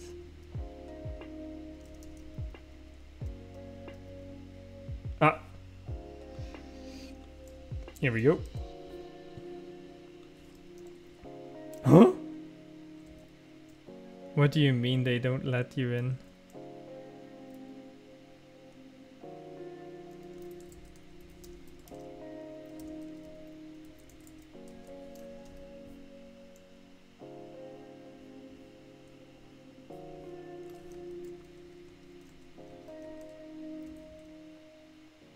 They haven't sent you the email thing. That's so weird. Is the, the email inviter broken maybe? Can I maybe, can I invite you?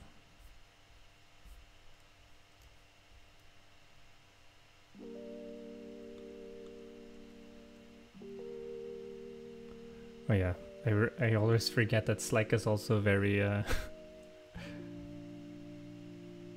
resource in intensive. Uh, I wonder why why is the import not working?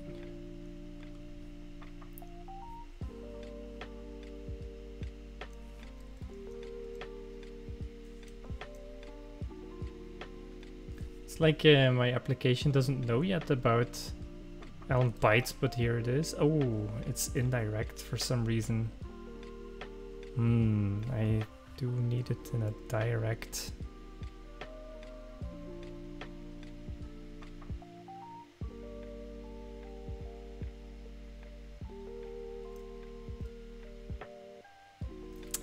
Damn. I'm also not sure if I can just go like this.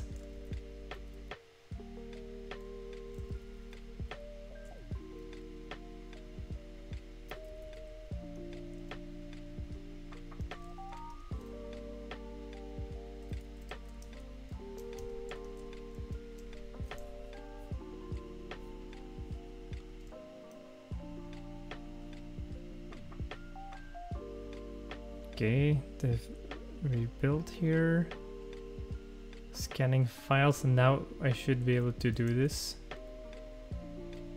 No. Ah, voila. There we fixed it. Oh, and uh,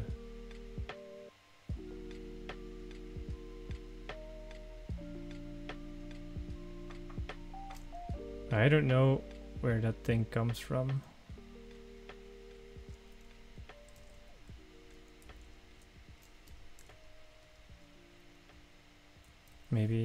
I should also follow a bit where the base 64 is coming from. Okay, so it's encode.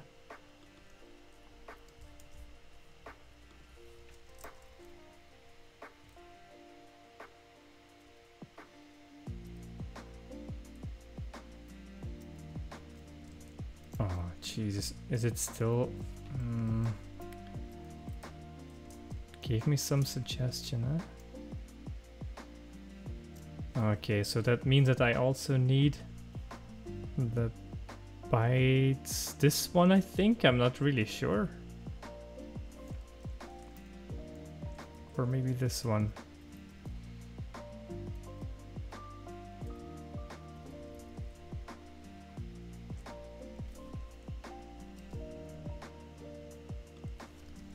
Let's. Let's check if this works.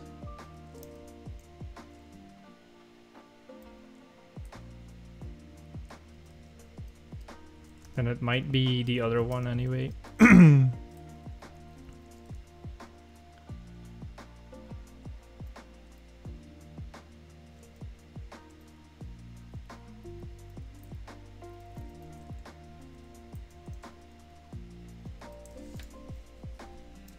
There we go.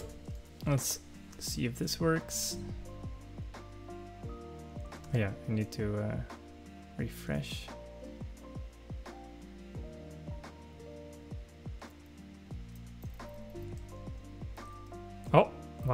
Okay, nice. Uh, and then what? This I now need to import.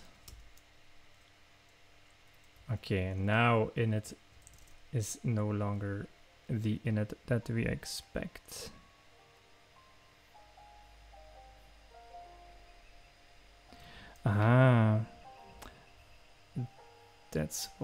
That was a bit weird. Here's the maybe string, which was state, and we were just disregarding it. So. Mm,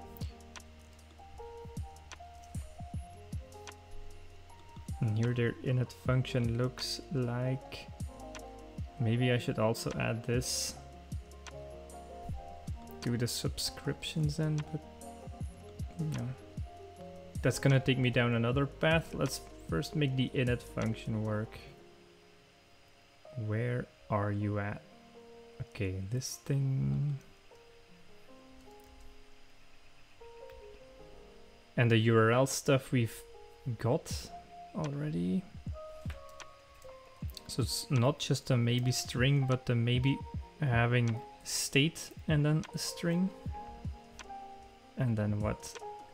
Mm. Here they called it M flags. Sure. And flags is used how? Oof.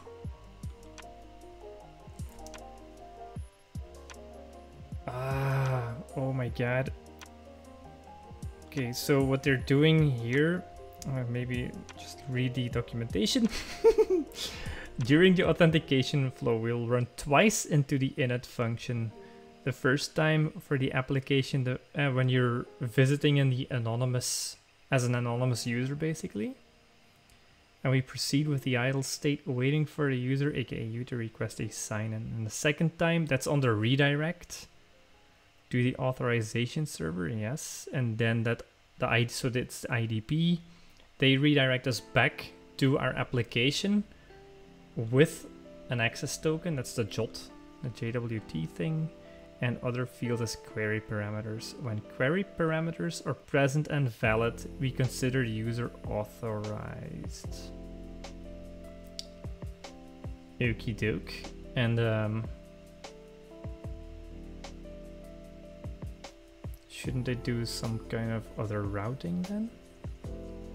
I guess that's that's here because uh, on my initial um, how do you say like when you initially get to the the app basically then um, you're always presented with the home message even if you're uh,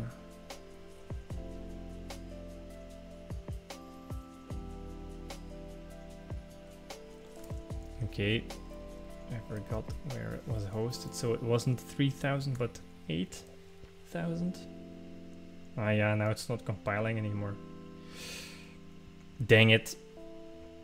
So I was just gonna say, even if you put flurbidygerp here, you will still end up on the home page because I don't do anything with uh, your URL here.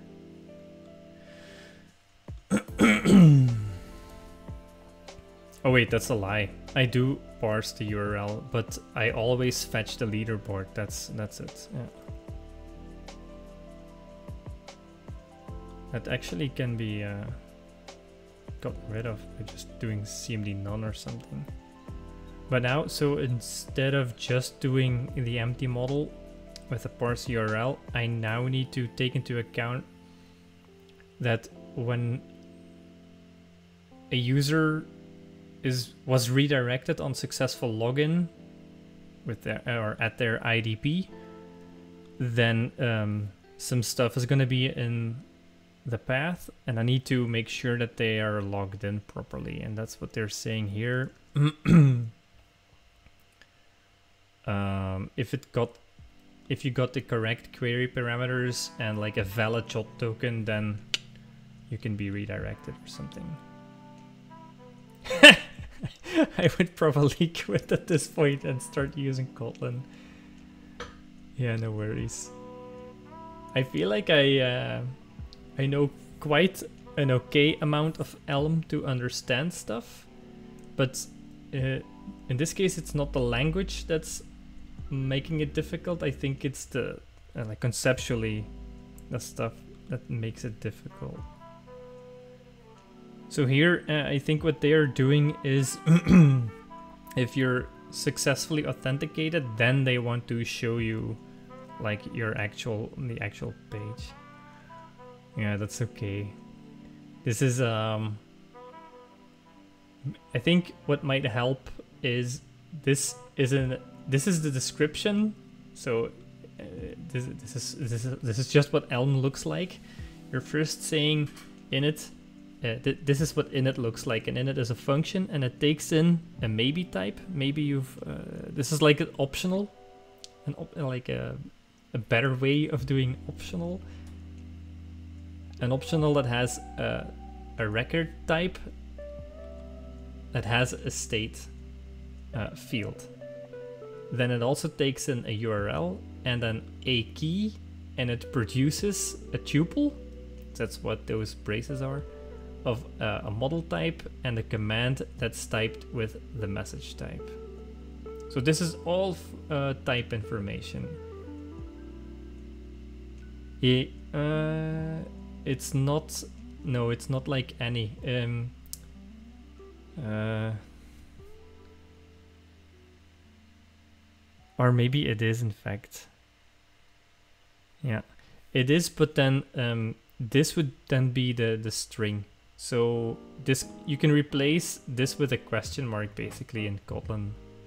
So if you, uh, let's say we've got an object in Kotlin, a data class that has a state field, then, and we called it uh, OAuth state or something like that, then you can read it in Kotlin as init colon OAuth question mark URL key blah blah blah.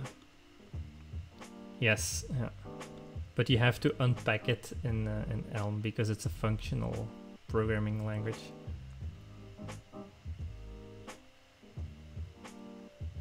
Yeah, so the the arrows are a way of um it's just a way I can I can cheat my way around this. It's just a way you define uh, parameters. So everything before the last arrow, these are all arguments to the function, and then this is the output type. That's the, the cheating explanation. But really what's happening here is currying or partial application. So you're saying init is a function that takes in a maybe and outputs a URL. And this can be the input that then outputs a key. And then this can be the input that then outputs this last thing. That's like the more difficult explanation. Maybe you know currying from uh, JavaScript or partial application. Where you can just keep on adding new stuff and by uh, you typically use it when using a, a builder for example like you're building uh, some arguments yeah javascript is you yeah. Wait and, and why why do you find it to be you?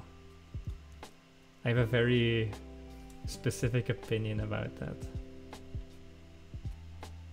And it's at the same time it's the same reason for why i love elm. Um, different form of as. That I don't think. So it's not casting and or anything.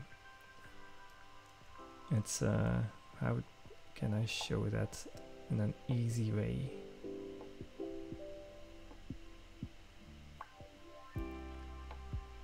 Hmm.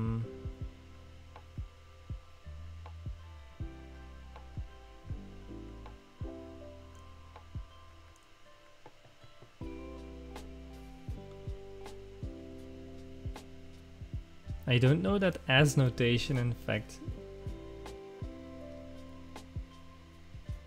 Or that keyword, let's say, I don't know. If you mean as from Kotlin, as is only doing uh, casting basically. So it's just saying, yeah, yeah, yeah, I know uh, this stuff is going to be a URL, but that's not really what's happening.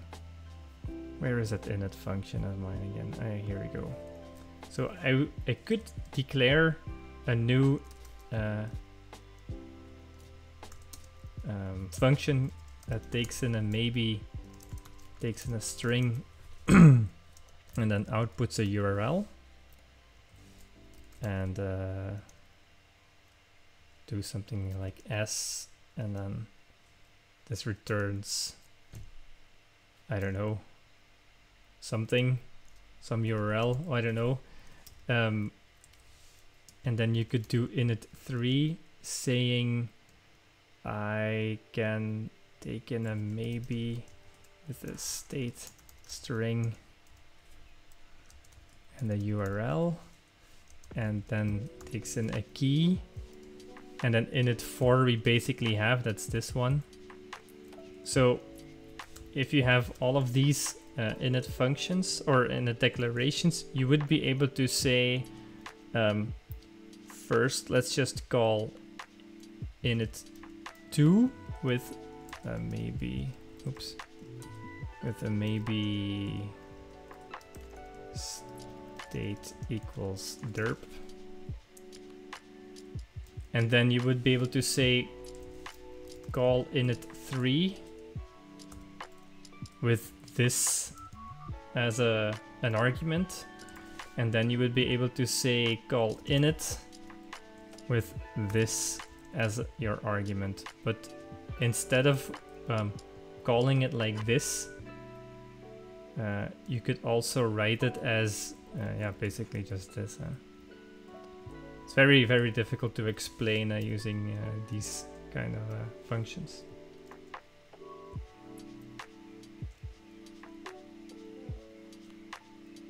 What happens if you use maybe?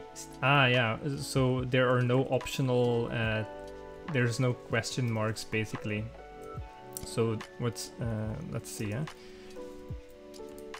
if we just type this as a some, some kind of a model, eh? type alias um, state model or record. Here we go, state record. It looks like that. And then we can say it's a maybe of a state record.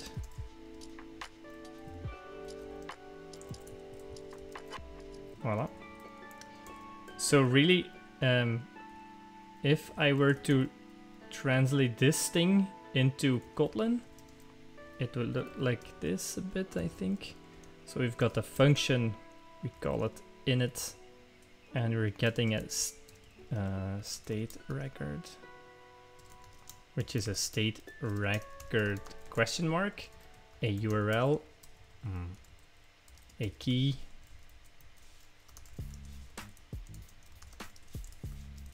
and we're returning a, I think it's a pair in Kotlin of a model and uh, yeah, this I can't really, so this is what it would look like.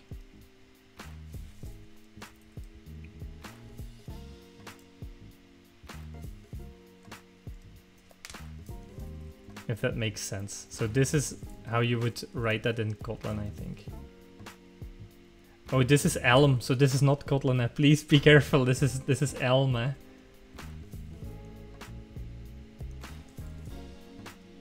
Uh, we're we're writing Elm code right now. This is not Kotlin at all.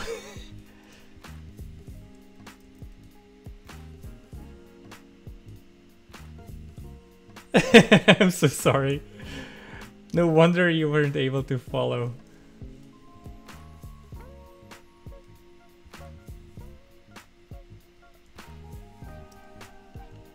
Yeah, I was just gonna say, uh, that's okay.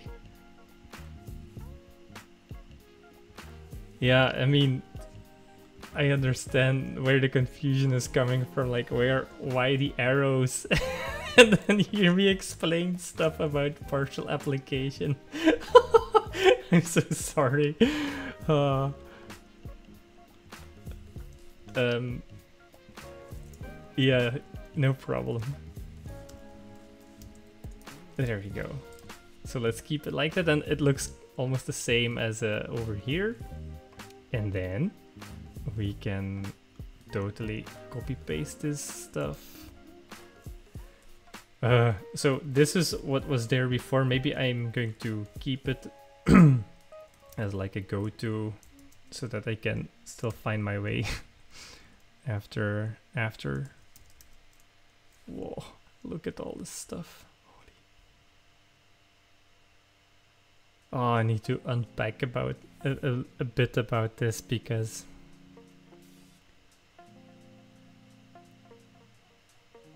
oh, where's origin coming from all of a sudden?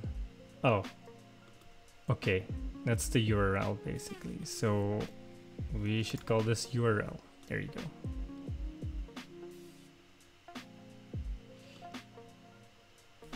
This we know.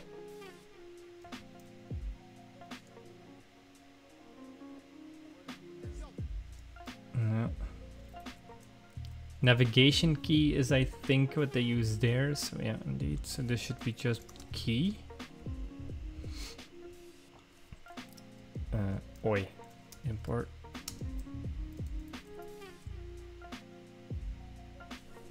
Hmm.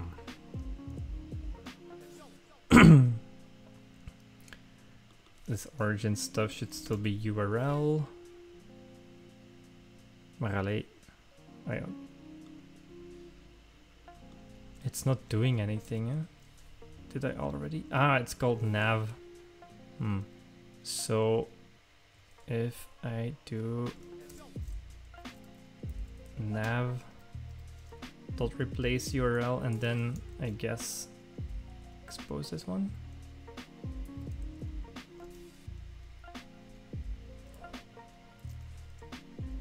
This seems to be working, but I'm not sure how much. Yeah, see, looks looks like it's working. It does remind of Kotlin a bit, but it's um, um I say uh, it's even more more strict towards types, I would say. So if you not sure if I can uh, show it here. Uh, maybe in the so in the homepage we're showing a leaderboard. Um, and this leaderboard response. Wait. This leaderboard response is being filled with this result here um, by handling the response. So when you do a call, something comes back and that's JSON. And that JSON you typically want to turn into some kind of a type. Eh? And in JavaScript, it's super easy because you can just do, uh, what's it called, like JSON dot parse or something, I think, in JavaScript. And then easy, you already have a JavaScript object um, but then in Kotlin, you really need to say it should look like this. Where is that decoder stuff again? Mm, here we go. So here we are saying uh, can I even find that properly? So some stuff is gonna uh, be entered and then we're going to have to decode that into different objects, basically. And the leaderboard consists out of a list of applying these decoders, which are leaderboard entries. And a leaderboard entry you can decode by checking the rank field, and it might be there or it might be not there. But if it is there, then it's you should decode it as an integer and then their nickname, which is always going to be there and it's going to be a string. This is how, how you need to really, really, really make explicit like what type it is, otherwise it just won't work. And you create your leaderboard entry using this kind of decoding logic. It's quite difficult. Uh, So there's not a bunch of um, maybe uh, typically a Kotlin developer is used to a lot of um, developer friendliness. I, I want to say, but in Elm, the developer friendliness lies in the fact that uh, once it compiles, it works. It will work. So you need to uh, lean on the compiler from uh, Michael Feathers working with Legacy Code book pattern to learn what stuff is gonna work. Yes, this is atypical web dev, I want to say. this is more typical towards using functional languages. So if you're gonna make a generic statement, you're gonna want to stay away from functional programming languages or strict typed languages, I should say. But they come with a, a huge advantage. Maybe uh, one day you will learn and you will be able to make a more uh, balanced decision or something. Ktor is quite okay, yeah. Ktor is quite okay. It's it's not uh, that that difficult. Um. Okay, now I'm wondering why this is com not compiling. I guess it doesn't really make sense. Because we don't have an idle type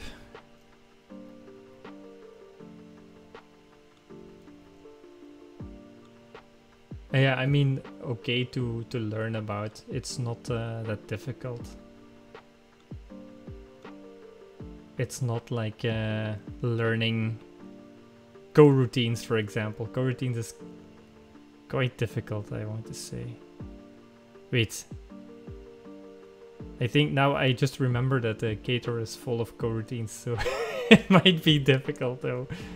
Spring Boot is quite okay. uh, Let's see. Here's what Spring Boot looks like. I remember if you want to register, register, sorry, the only thing you need to do is define a class. You put some magical Spring annotations on it. Uh, this is a dependency injection, which, which you can just ignore. Then you define some function that you want to um, handle a post request to slash API slash register, you're saying I want some object that is JSON and I accept it. Just mark it as a request body. Jackson, Jackson which is the, the library that takes care of uh, parsing your string into an actual object, so you don't need to worry about that either.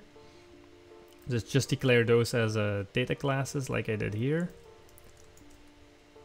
And then uh, that's it. And then uh, you can start working with it basically. And that's uh, your Spring Boot controller. And I believe, I'm not sure anymore which. Oh, I think it's the registration one that I did in Ktor as well. So in Ktor you need to it's more declarative style I would say because it's just a function where you're declaring which routes you want to do something at and this route API slash register can be posted to and then you do uh, the same thing here so here to get the uh, the JSON body that's been posted towards this uh, endpoint. You do call.receive using uh, reify types. You get the registration info in there and you do the same thing basically. That's it.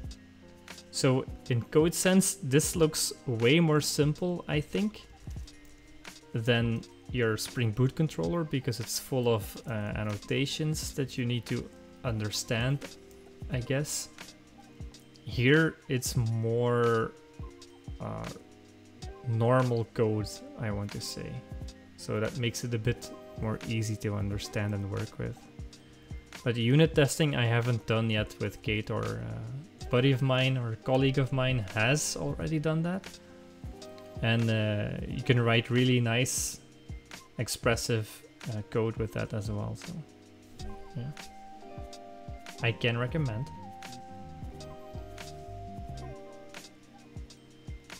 Using Spring Boot as a dashboard for your pod. Hmm. So the way I perceive Spring Boot is um I mean you can do that of course. Uh, with Ktor you can do the same. It's just an embedded web server, right? Into networking stuff. That I don't I know so little about it shameful, really. So good on you.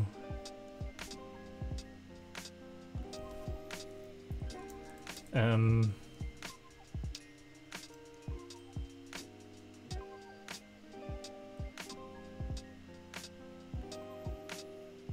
so I'm going to extend my model with a flow and a redirect URI. Where is that one? What type is this actually? Ah, it says it is a URL. Okay, nice. So if we go to, hmm, maybe I can go like this. Yeah.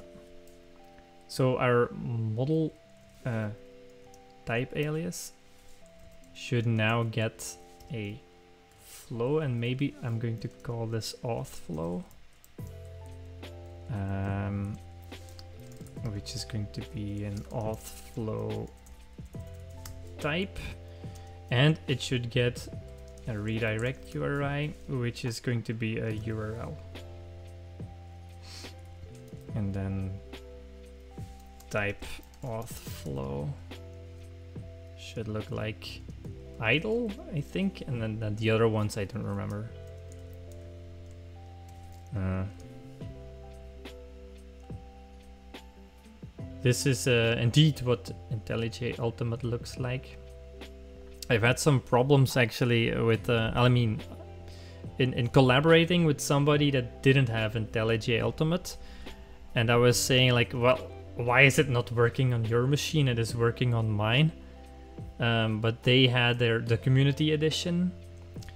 And there were some issues where especially with regards to spring boot um, the class path is calculated much differently.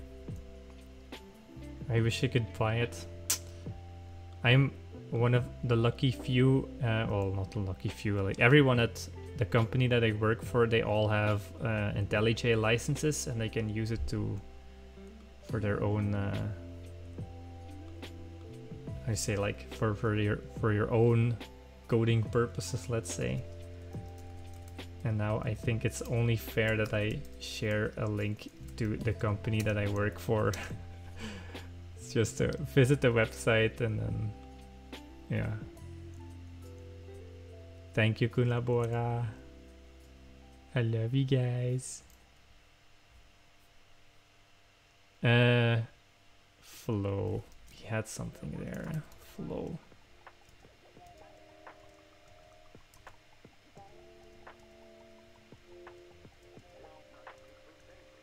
There you go.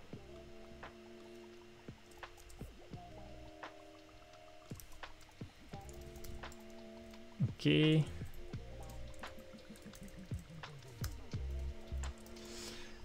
And now, hmm.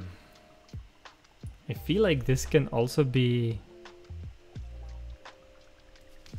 part of that security stuff.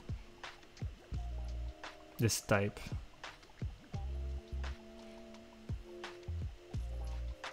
Because really this is just routing stuff. And then I don't understand yet why we need to redirect your URI as a state in our model. but I guess we do. Um, this we need to import. Yeah. User info doesn't exist yet, I don't think. And then user info. Oh. Picture. Maybe I don't need that. And I think I will put that somewhere below here. Or maybe just above it, yeah, it'll be even better. Model, full application state of our app, and then here's like the, uh, the stuff needed for OIDC flow. But hmm.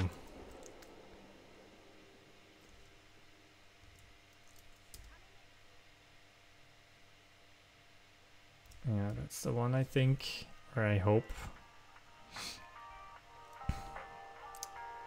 There we go. Okay. Less stuff is not compiling. Uh, ah yeah, dang it. Uh, so empty model is a way to create an empty model, but I'm going to have to refactor that anyway because where it used to get created, where is it? Here, in my init function, so it's going to look completely different anyway. Um, but that's cool, that's cool, that's cool. What we can do...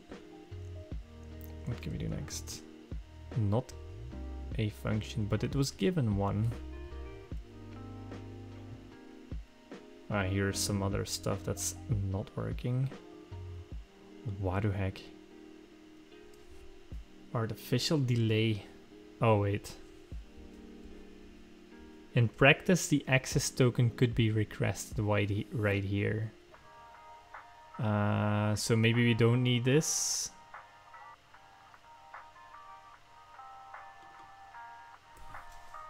Bye. Or, ah no, now I need to, damn, that's, this sucks. So I need to make sure that um, I would call like the actual, um, what's it called?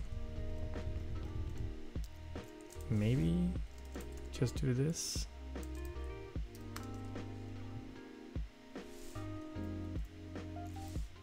That should work normally, I think. Uh, oops. Then I need to revert a bit.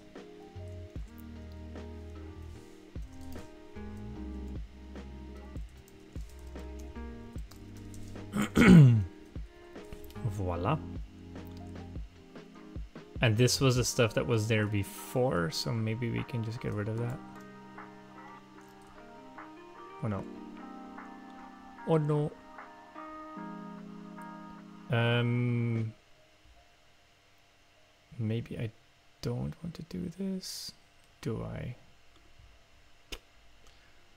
In any case, we've copied that up top like the original thing so we, I need to um, so this is the empty model function which takes an, a URL or something a route and a key um, and that will create a model but what they're doing here is that they're actually based on whatever they did with the parse token of that URL that's being uh, uh, extracted here.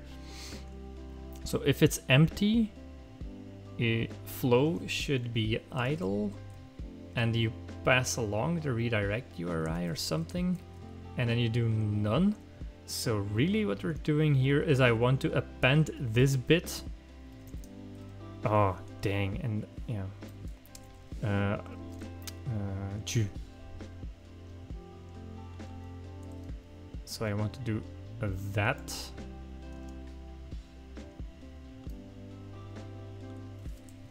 And then hopefully um, empty model.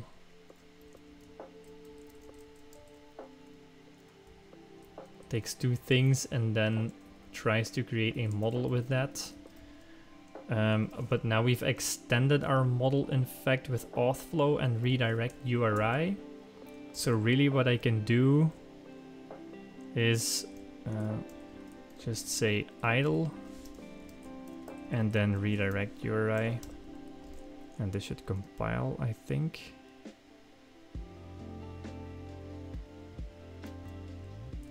Um,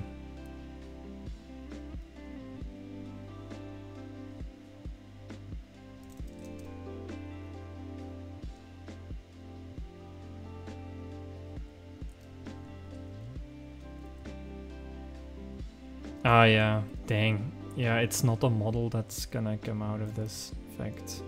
That's why it's not compiling yet. Um, so this is like a, only a partial model that we're doing here. Mm.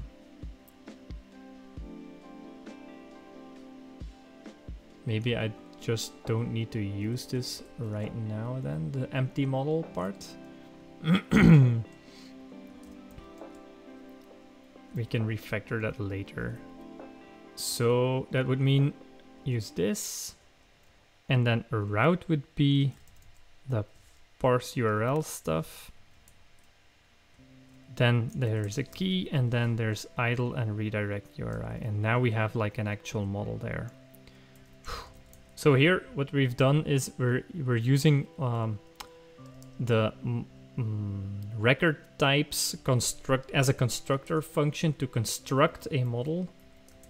Um, so now we can extract it a bit, I guess. Uh, and before all of this jazz was the route. So really what I can do... Yeah.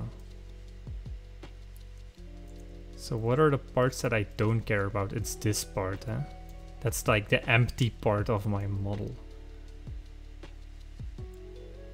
And I guess the key I also don't really care about. No, wait, I do care about it. It's it's very important in fact that it's this this key. Otherwise it stops it just stops working. Um, so maybe I can write empty model as I'm gonna get a URL, a key, and then an auth flow. And then I guess a redirect URI, I'm not really sure. It seems to be past always. But I don't really know why. But that I can worry about later. Okay, so redirect URI. Uh, and then I can say, well, create a model with this and this and then do parse URL with URL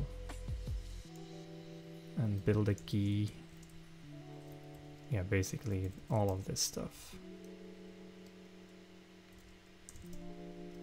let's call it 2 and then this should read as empty model 2 and that no longer should take that that part this I um, I only need to pass the URL to that thing. It will take a key, then an auth flow thing, and then a redirect URI.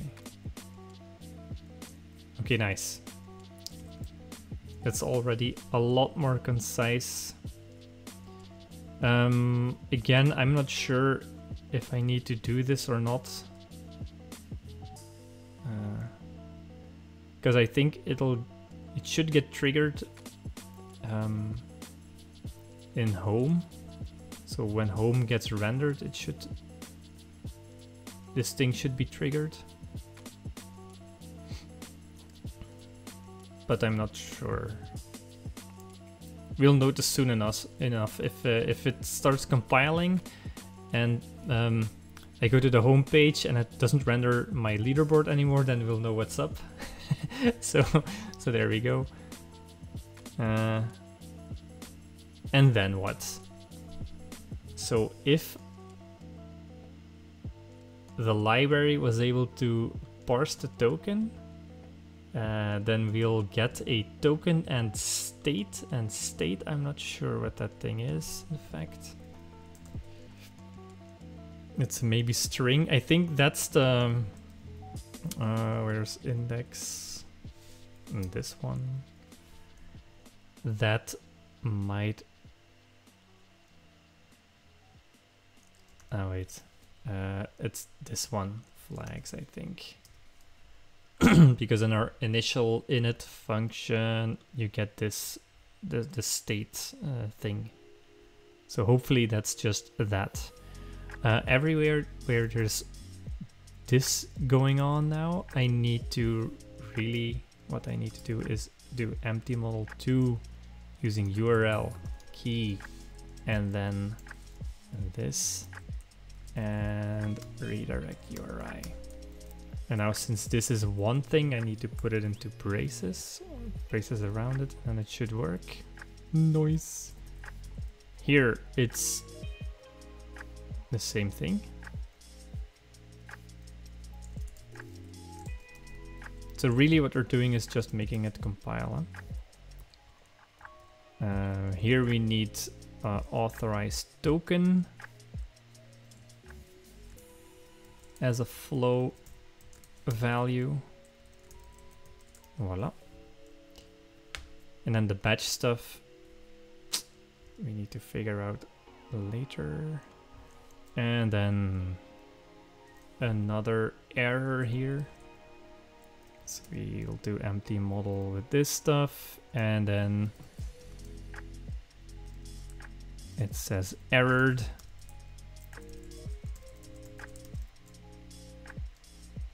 And an error authorization gets piped into that one.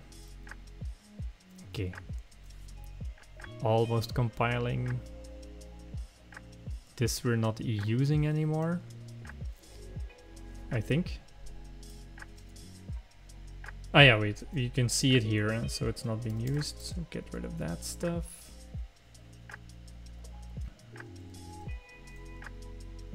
And then this is breaking, and why is that?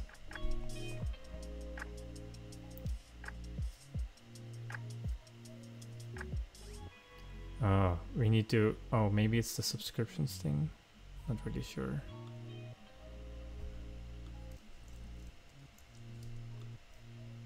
Uh, all the way at the top, they declare their main as a program. Oh, so these are integers. This might be why. Um, maybe of a list of integers. Voila. It's working. It's compiling. So hopefully, since it's compiling, I'm guessing it should still just simply work. Otherwise, we'll need this. Okay. I still wonder... Uh, oh, I, I do think I'm gonna need to uh,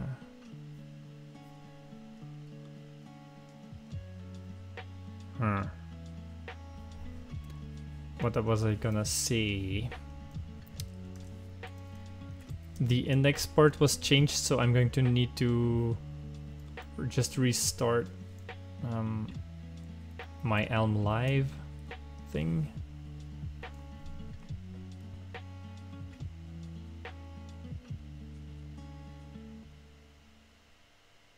Hmm, that doesn't seem like it's working, eh? So here we're having to deal uh, cannot access scrambled bytes key before initialization at remembered bytes. Uh, then I'm gonna guess that in this function of remembered bytes, this one, we're trying to get scrambled bytes and then explodes. Uh, what was there before? You could still just get stuff apparently, but then um stuff was JSONified, let's say, or it would be null.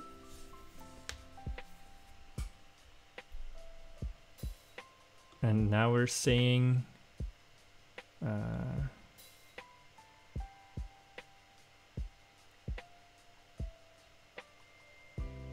so if you have bytes then parse it to an integer uh, to a decimal I think yeah. And otherwise it's null. Okay. And then my error message is saying cannot access scrambled bytes key before initialization. Why is that? So I expected uh, application session storage. Hmm. You know, nothing's in there, of course. That makes sense. Because it was the first time? Oh, it's it's local storage. My bad. But again, it's just empty. Um, and what's this thing? Ah, hang on. Um, so we do need to set this as a in in uh, our port. Um, and that we haven't set up yet. So um, where is that part? Uh, this is fine.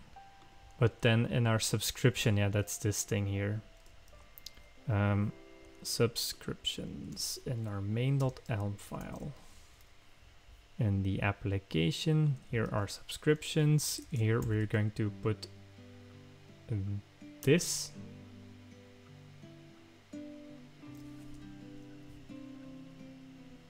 And that I don't really remember where the always is coming from.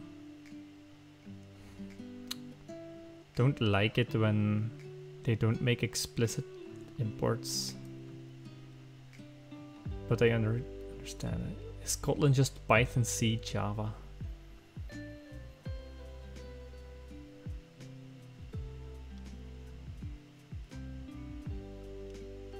It just might actually, yeah. Yeah, it, I Pythonic. Ah yeah, okay, I was just thinking maybe you're referring to the fact that it compiles to Java.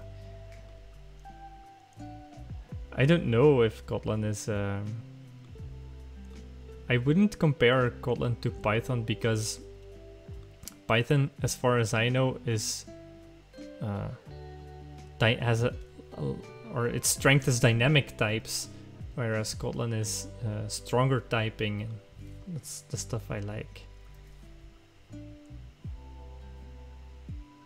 Why? Why though? Why is this not working?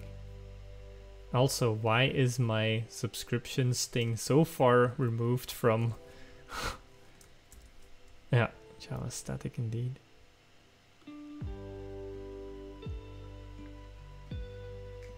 Ah, okay, nice. Create a function that always returns the same value. Alright. So I always want the random bytes got random bytes thing, apparently. Oh, and then I'll need got random bytes as my message type as well. So this is gonna be new. Kotlin is like the Python version of Java. Ah, okay. That might very well be true. Oh shit, what's this? Random bytes. We forgot that. Oh, and then also, of course, we'll need to take in a list of integers as the wrapped type for the get random bytes thing.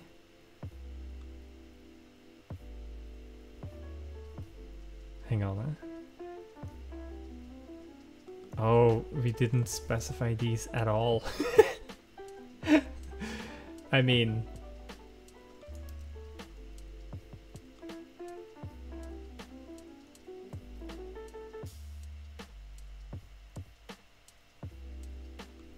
What?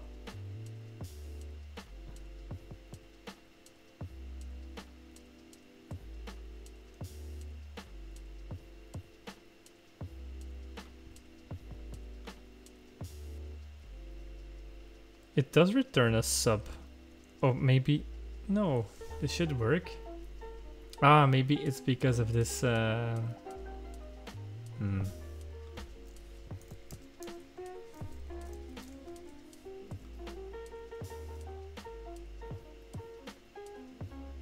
Sure if that was a good thing to do.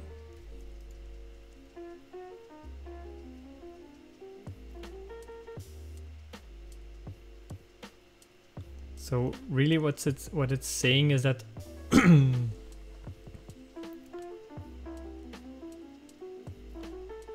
maybe the type is different here from the subscriptions part.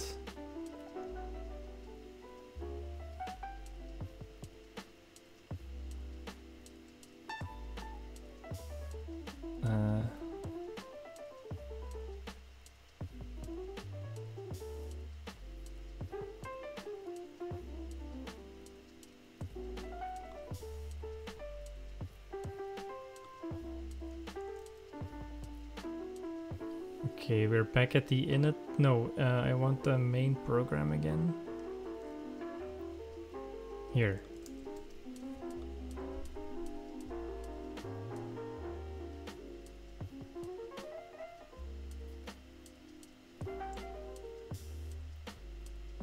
random byte. So that's the call to that port that should initialize this got random bytes thing with. Ah yeah, and then that's why it need to be a uh, any message, but really no, it should be uh, this this one, so that's good. But then I don't understand if it just returns that, why can't it just not be this? Oh yeah, okay. I was, I was, that was mind-boggling.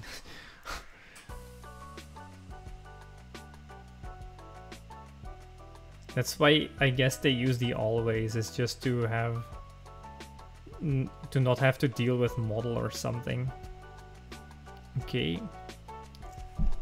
Okay, so now what we're saying is whenever your application starts, um, you want to subscribe to this random bytes function, which is something that gets called outside of uh, Elm, which is this thing, which is in fact this thing.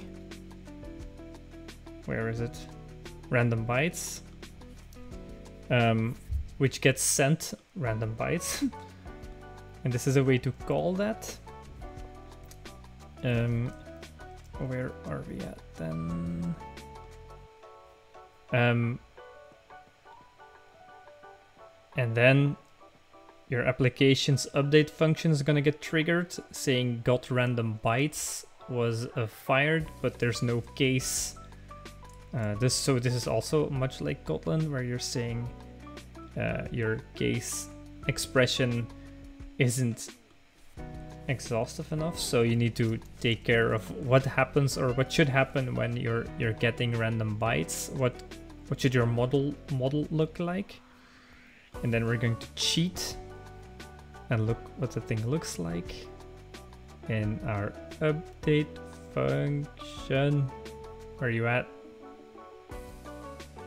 got random bytes oh but they do See, this is a bit unfortunate in fact.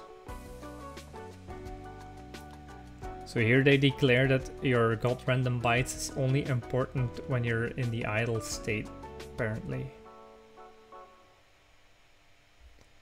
Uh, so we could do that as well, but then I'd have to change that for everything here.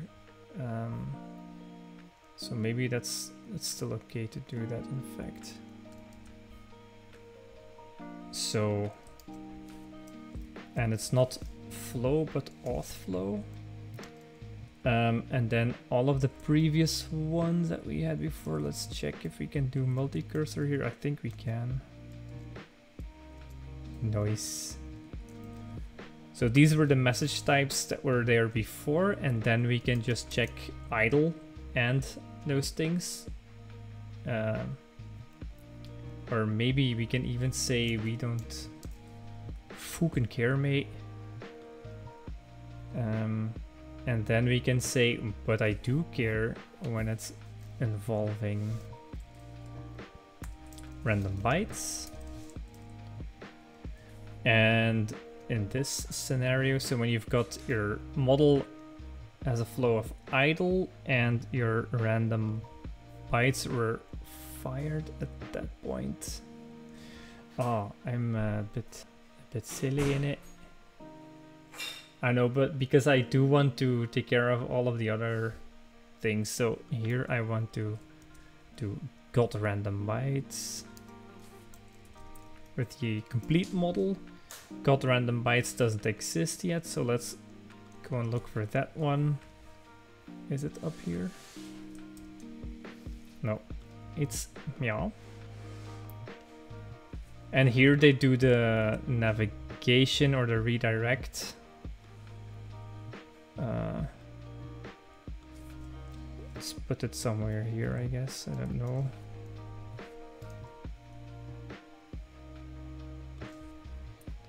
And here it's a bit interesting because all of a sudden they're using configuration.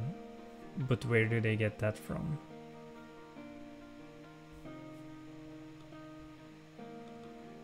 Where is this thing used?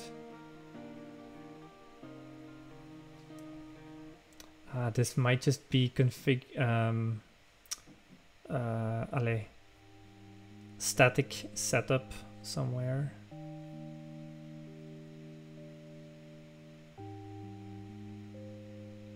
Here's the type, but maybe they've declared it somewhere else before. Yeah. Also quite annoying. So here we've got um, our Auth0 uh, stuff. So really,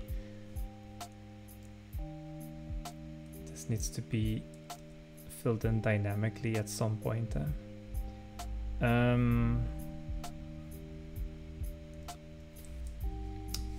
I guess it's fine if we also do this.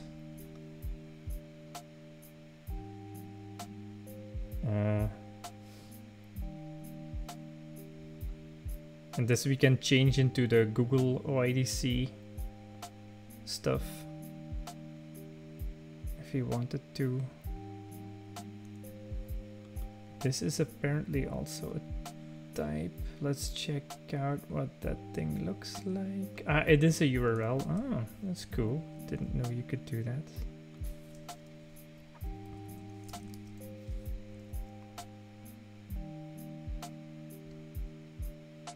Authorization. This I don't understand. The default HTTPS URL, where's that? Somewhere default. Oh, this is a helper. Ah. Oh, I see. To just get the... I, okay. Oh, that's also added somewhere. Maybe in security? Eh? We've already added some stuff there.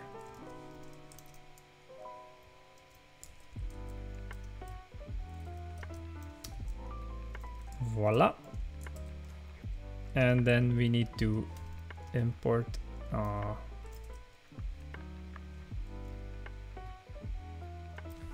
Oh, we already had the other one?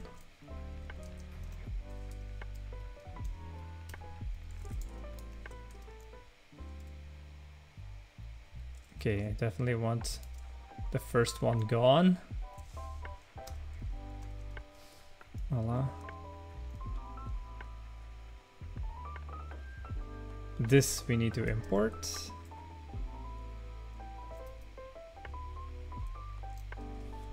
There we go. And then what next? Next stuff. This should be auth flow. Here we are updating our model and we're saying only update auth flow to idle basically. Um, and then this is a command.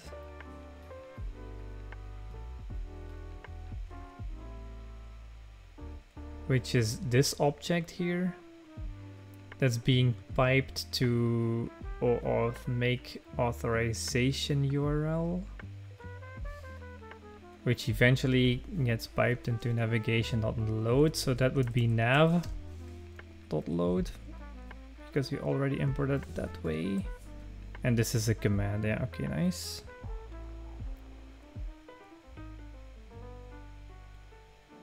Still compiling. Looks good. Maybe it will work now because we've taken care of the random bytes ports. Let's see if that's indeed the case. Ah yeah, we need this to be a port module now that we're using ports. So port module main.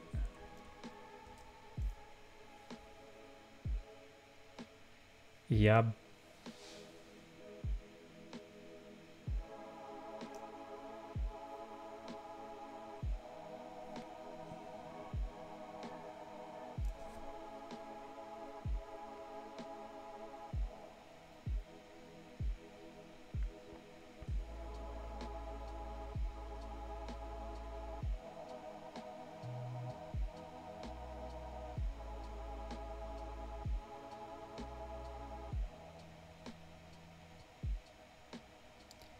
This I also don't understand. Why is that? Random bytes. Port declaration. Here it's saying that, oh, maybe it's the specific type. It's too specific. So this is the stuff that you learn uh, when you do Elm a lot, I think. It needs to be generic for some reasons, and for some reasons it needs to be not generic, but more strictly typed. Um, here we've got the subscriptions, random bytes. So let's do lowercase m. Um, and same here. Then I guess this should also be lowercase m.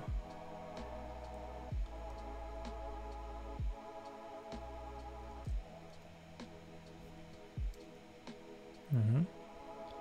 Oh. That's strange.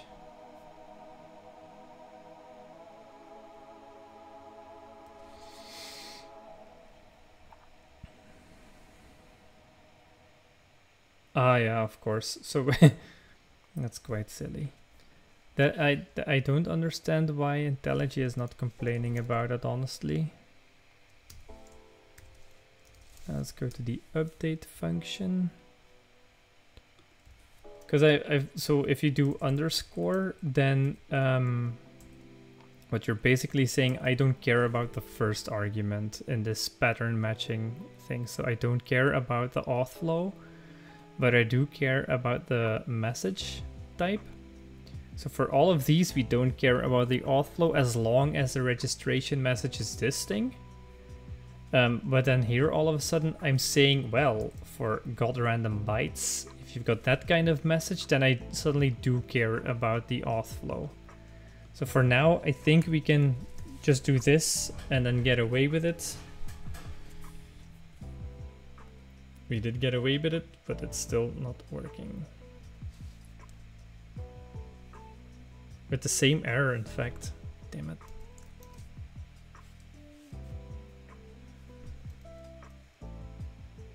Mm, so the other thing that sometimes helps if is just reloading Elm just like this. Mm.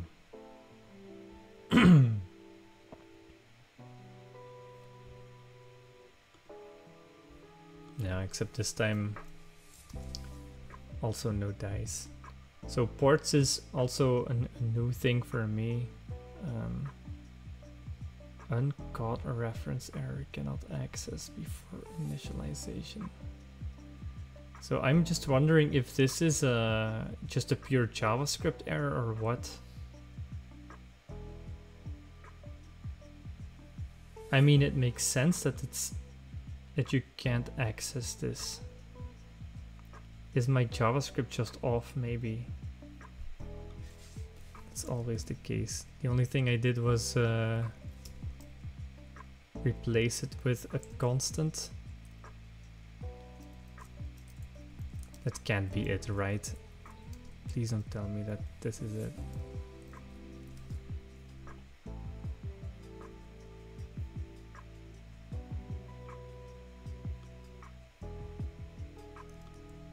See, now I need to really restart it because um, Elm Live doesn't pick up the index HTML or I haven't told it to look at that fact.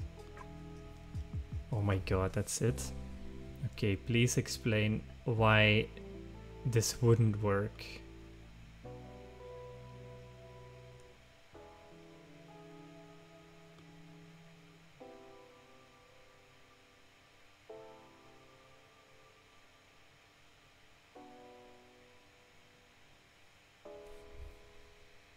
I cannot comprehend.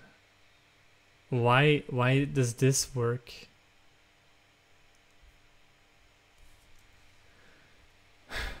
So if I use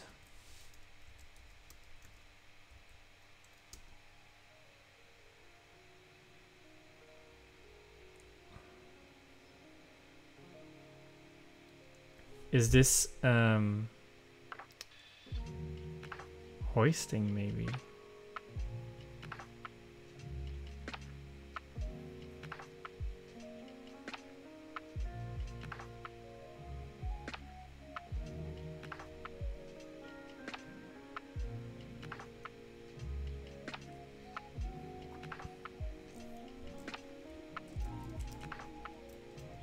So once again, if I put it back, then it's gonna break.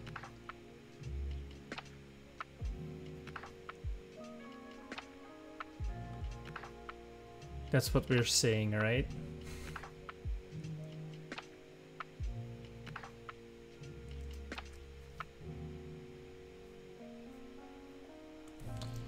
Let's find out.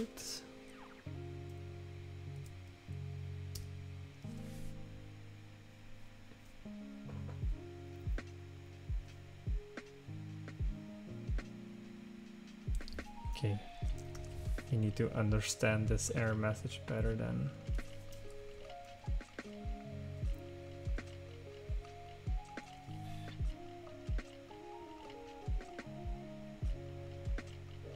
Which initialization is this thing talking about then?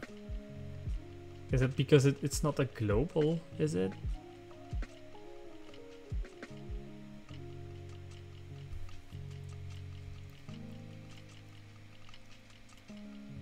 Anyway.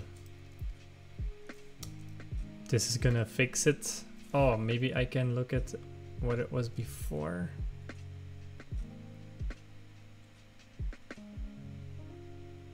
Yeah, it was never fetched again here, so I guess that's okay, yeah. Okay, whatever. There I fixed it. Jesus Christ. Of course it's the JavaScript that killed me. oh, I shouldn't bash Shouldn't bash.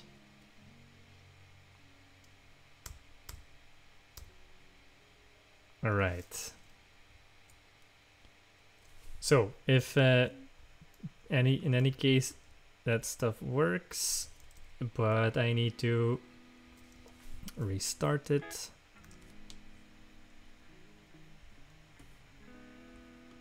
So this is good, uh, and it's not doing redirects yet which is fine. Um, now I need to figure out, oops, why or how it's doing the redirects then. Huh?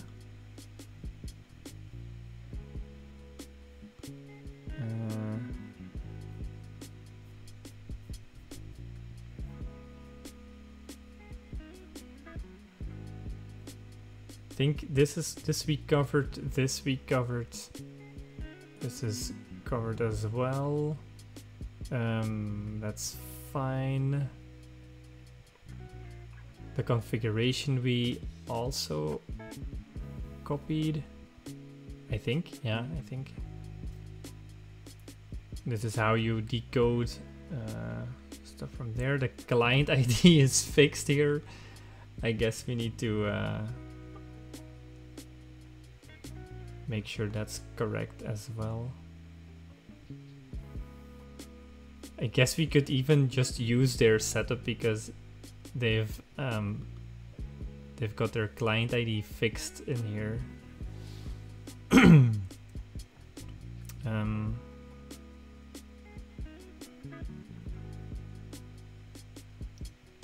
here's the init function that we've I think completely taken over this part.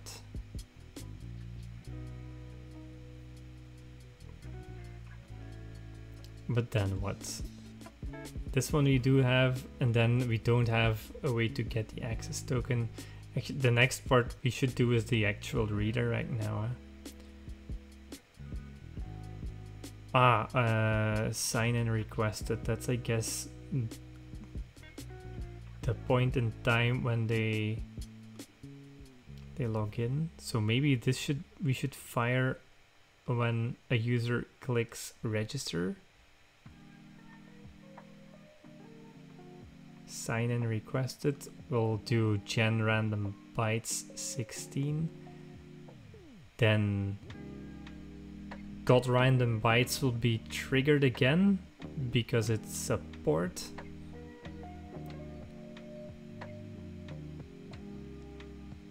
Uh, this one we've got as well, I think. Yeah.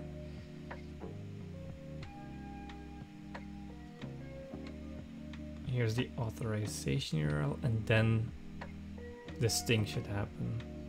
The load, and that's what the thing that actually does the the call to um, the IDP.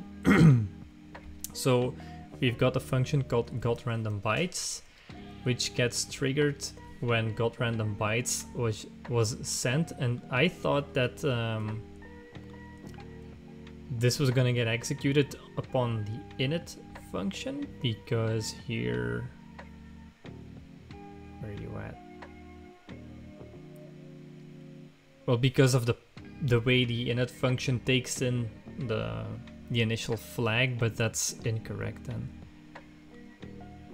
Because they trigger gen random bytes when sign in is requested.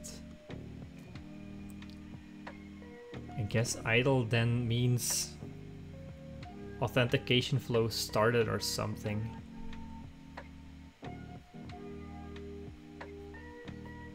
Let's see what they initialize their model with.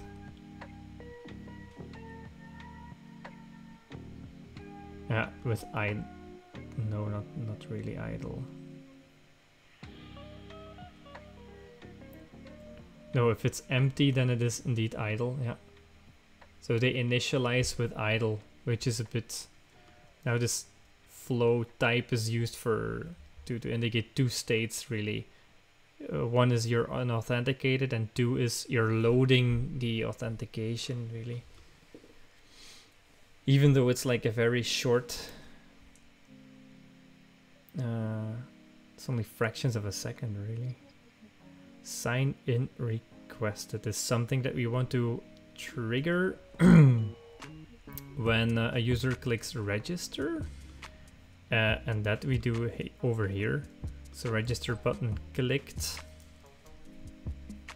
Mm, that's a message type here and then we just do register player with a model.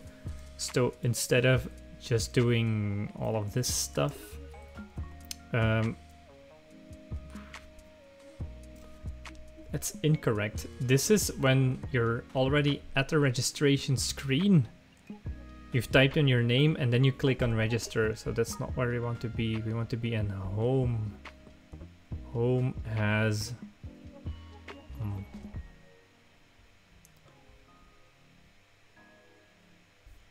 I forgot to check in fact.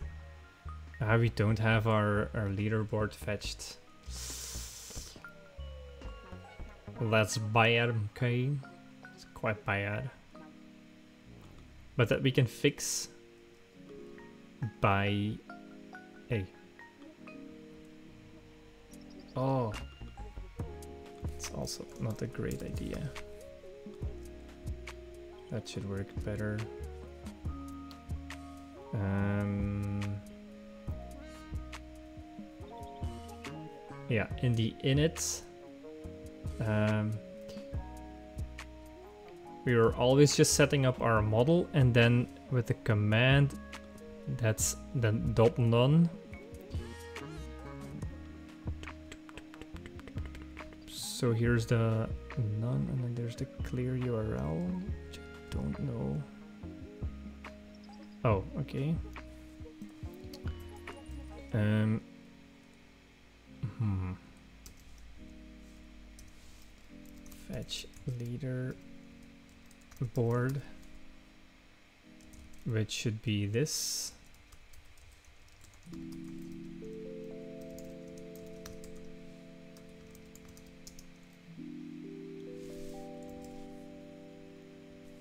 And then we can combine those with batch apparently. So we'll do clear URL and then also fetch leaderboard and here we do the same.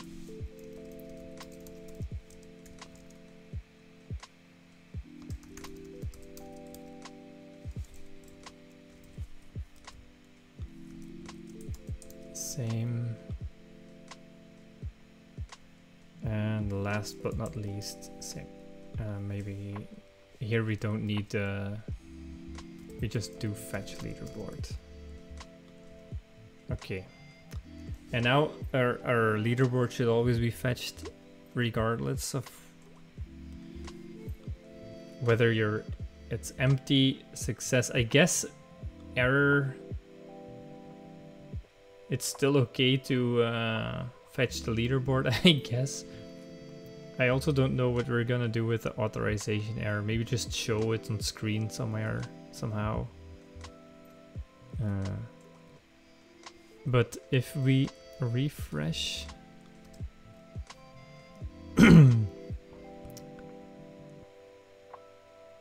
Aha, we've got our Carbera tutorials back again. Nice.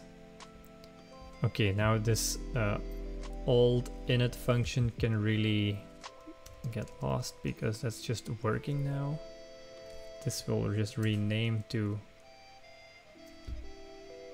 This we will just rename to, dankjewel, empty model. Um, and then I was, I had something in my copy buffer, but I completely forgot about it. Ooh, we've got a longer copy buffer. Nope. I definitely just copied it from uh, over here somewhere. Um, yeah, wait, I've, I've, I remember now. It was the sign in, sign in requested thing. Let's just paste it here and then auth flow. Here we go. Now we've got it in our IntelliJ copy buffer, but I guess it could be there. Uh,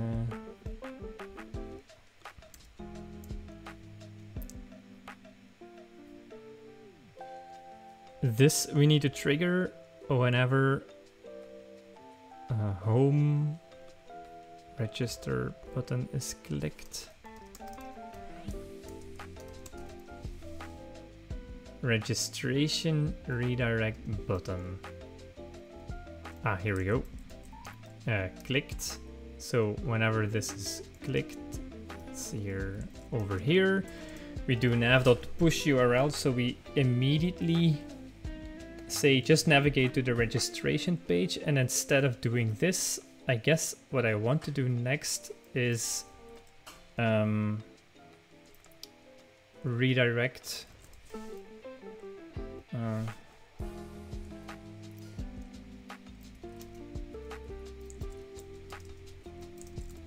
um, so wait, uh, this is actually uh, navigate to registration. That's really what's what was happening there before. So navigate to registration looks like this. Hmm. And that's going to take a model, I guess. There we go. So now instead of just navigating to registration, I want to say sign in requested instead. Oh yeah, but now... Hmm. So this model is it's not the same model, let's say. So here we in, we're in the home.elm file. Here our model is only looks like this. We've got a leaderboard, an API failure, and a nav key. Um, because it's the only thing that's uh, regarding the the home page. In fact, should we have done all of this in the home page? Is what I've been asking now. I don't think so. I need a way to globally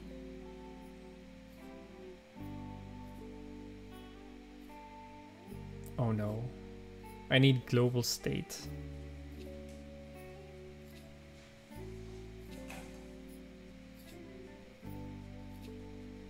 So that means that um, all of my uh, subpage models should extend like a, a global state model, let's say, that will then contain um, auth flow maybe, or just a JWT token or a registered user maybe. um, but to handle this part, maybe I can just again intercept it in, uh, in, in main somewhere.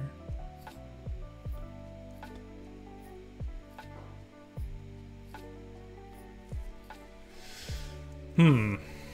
Let's think about that.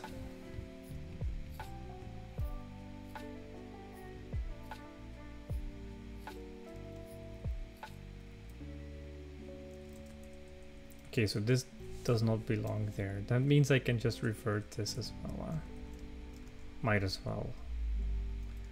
This exists there, but then if I navigate to my update function, Mm. Here, what I really want to say is if it's any other kind of an home message aside from the registration redirect button clicked. Uh, updates.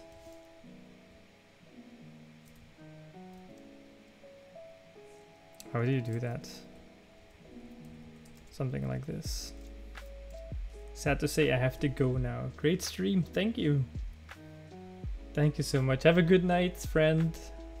And good luck with Gotland. Oh, damn, I should have stopped 20 minutes ago, in fact. uh, thanks for the warning.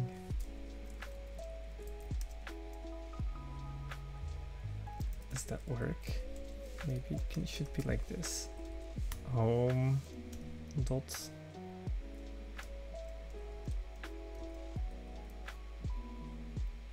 Oh, that seems to work in fact. Oh. In that case, I want to call sign in requested with a model. if you ever make a Discord, let me know. Okay. I might as well use it. Uh, yeah, I'll need to set it up properly so that uh, people can find it more easily. I can't promise anything, but uh, I'll try to set it up by next stream. See ya, mate. Bye. Hey, what the hell?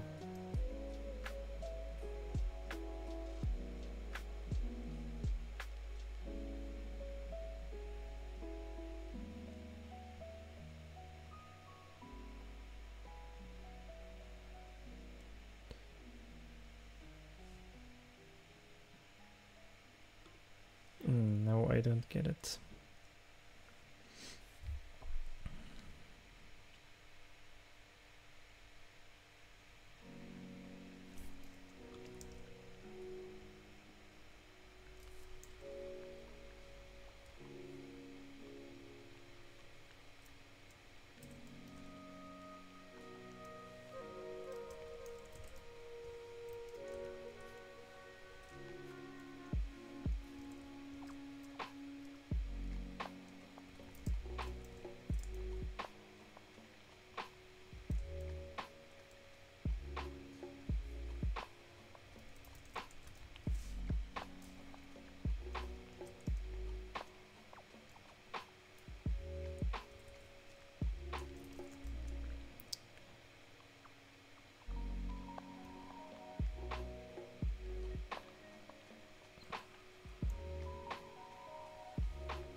Ah, yeah. Um, oh man. So it's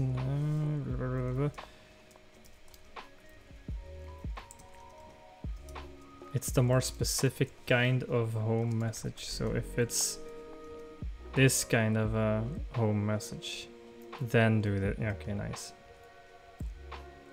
Then we'll do sign and request it, and we should redirect. I think this should already work. Let's see if that is indeed true. Okay, let's click on this thing. Oh, it's working.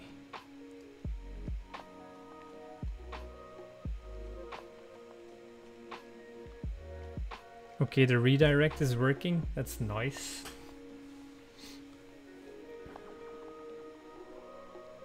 And then Elm OAuth 2 is known to OAuth, uh, to, yeah, to Auth0 because this nice person, uh, truqu, they've already set it up to test it their themselves, so that's why that uh, URL is indeed working. Yeah, that's that's already nice, huh? Maybe I should set up uh, an Auth0 app then.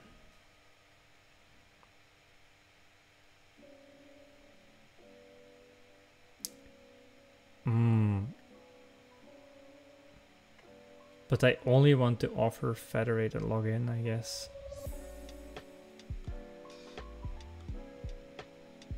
Anywho, the redirect seems to work, so that's cool. Maybe I should call it a night now or something. I don't know. What's left? The redirect. Eh? So what happens if Auth0 the authentication works, then we'll end up in this success state.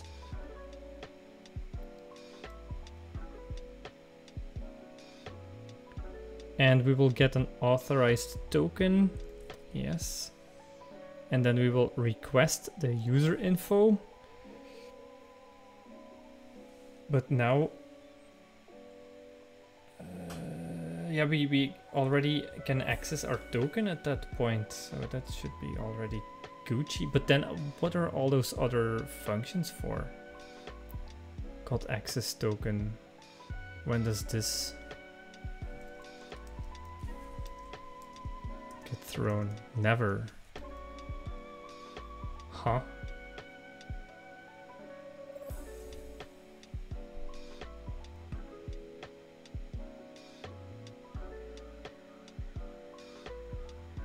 Oh, this might be... Nope. I don't get it.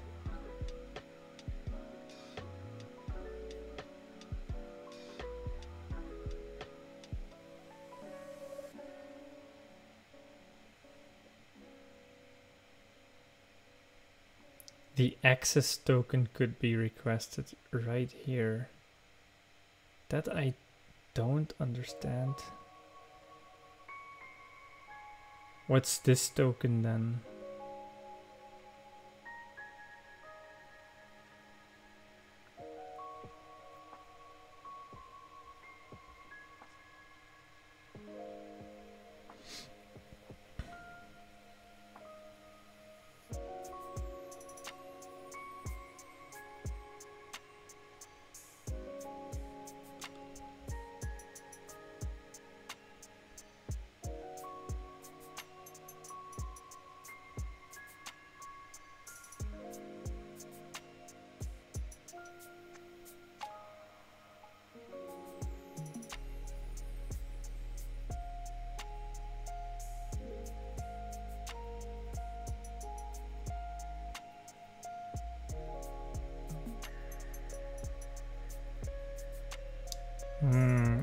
Missing some stuff because they've...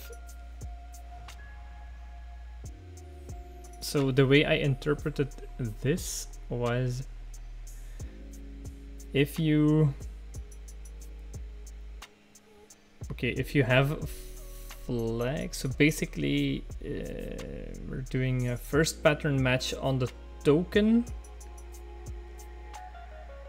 of the original URL. So once you get the URL, We'll try to do parse token and maybe I should just look at what parse token actually does. But then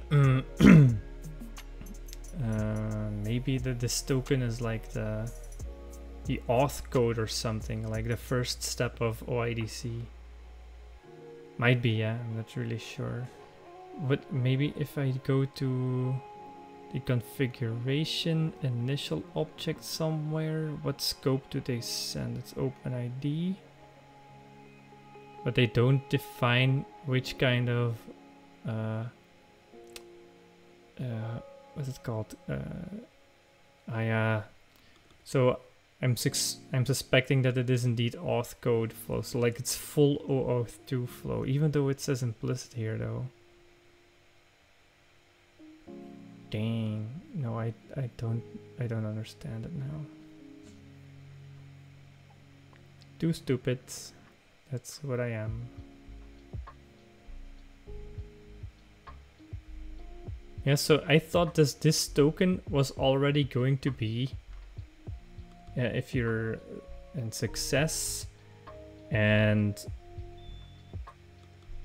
you check your flags and then when state is blah then else you'll just assign flow with this token.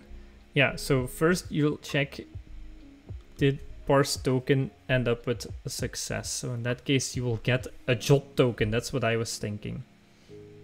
But i might be incorrect here. So if you do have your jot token in that case, you can just set it, set it to your flow because you immediately have it already.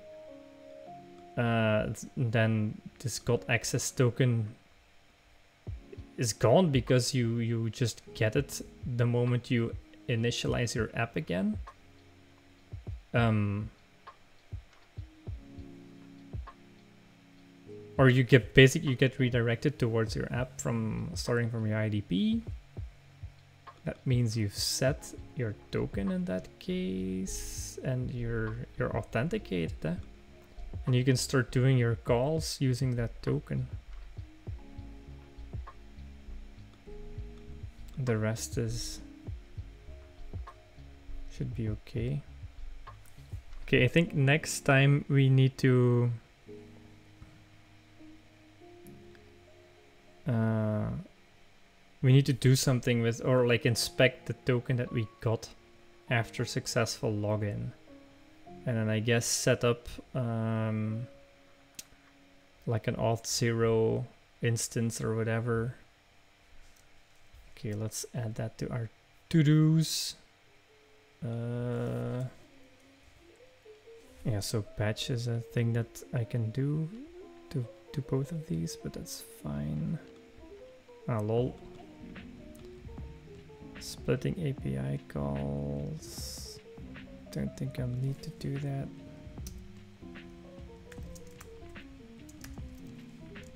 Um, use an OAuth 2 Elm library takes care of redirecting and parsing tokens. I guess that's halfway done. The next part is verify the token on successful login using auth 0 or whatever IDP setup. So this is what, instead of Auth0 I wanted to use Keycloak but I can't set it up fast enough or I couldn't set it up fast enough so maybe I'll have that done by next time. That way I don't need to worry about uh, viewers trying to abuse my API keys or whatever uh, because I will just be running it locally so good luck connecting to that. Um, yeah, I think I will commit this part because it seems to run uh, oh dear. Maybe I don't want to check in this Keycloak yet. That'll check in separately. This I'll no, will check in. Okay, so this is mm, added. I forgot the library. truqu to handle to login and followed the implicit flow example. Nice. Then I want to commit the Docker Compose file. Uh, so added a local key cloak. Not working yet. Sad face. Sob.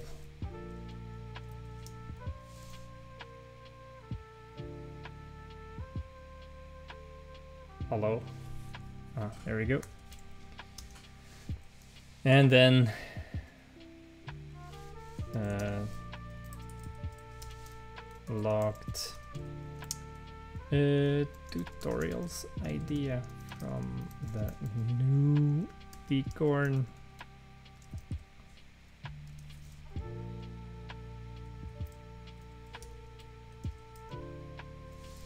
and we'll push all of this stuff. So I guess next time we'll try to do this part. It's the continuation of the jot stuff. Yeah, smallest commit font ever. It's, yeah, I think the reason why is because I'm developing in a presentation mode, but when I'm doing commits, then I guess IntelliJ is not uh, using the same font size for that. And I'm not always developing in uh, presentation mode, so I, I didn't find a way yet to, uh, to fix that. I'm doing great. Thank you so much for asking. How have you been? It's been a while.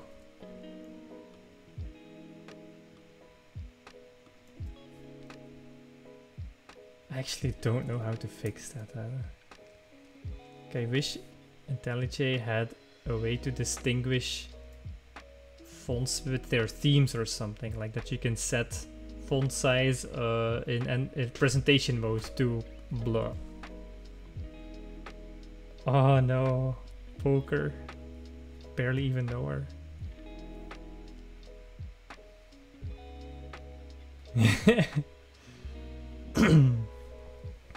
You play online or uh, like a real life game of poker?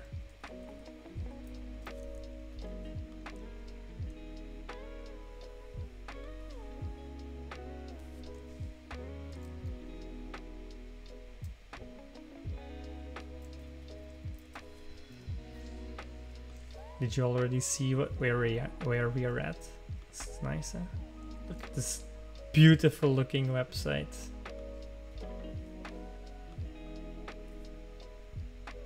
Yeah. That's indeed, uh, of course, a nice uh, or a nicer, nicer game. Uh. I'm also missing uh, like social so contact in general, I guess.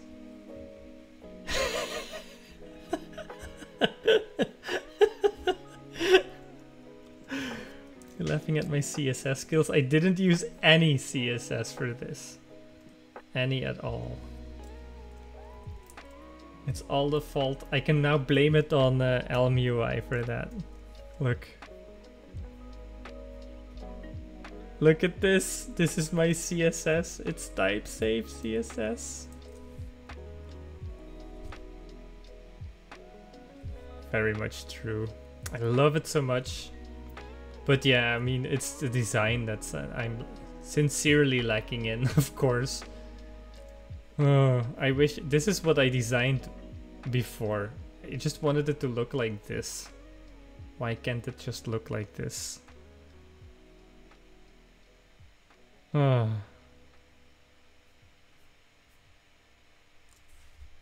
Friend of mine made me uh, made me do this first. Then you will know what your your users are going to want and I really enjoyed doing that in fact because it, it gave me so much ideas like oh maybe they don't work it they don't want to work it like this. These are like some constraints that we had. And I also ended up making personas out of my future users for a hobby project that might never see the light of day in production. But it, it I mean the exercise is good, and I think so.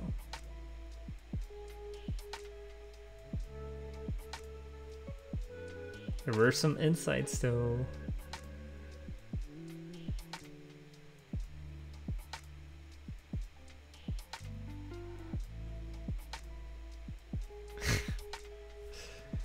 oh, anyway, I was just about to call it a night, and then, uh, yeah.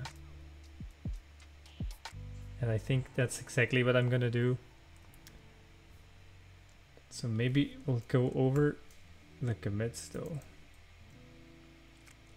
Played with CSS Grid. Yeah. I've checked it out before and I, I loved it. The model makes a bit more sense to me than Flexbox, I want to say. But it's still... Uh, like... How, how do you say it? Like, I can only have one concept in my mind at the same time. So if I recently learned about Flexbox, I'm always thinking Flexbox, even if you're showing me grid.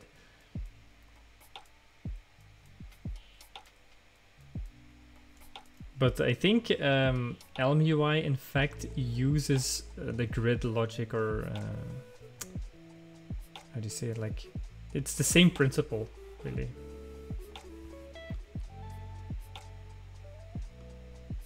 Uh, so we were failing at using a local key Keycloak, setting it up. That that's that was bad.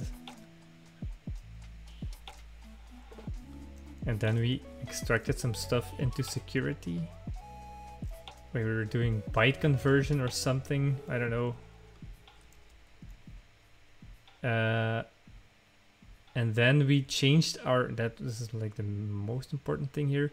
Our main module is now a port module so we can access JavaScript stuff being injected into our Elm application at startup time.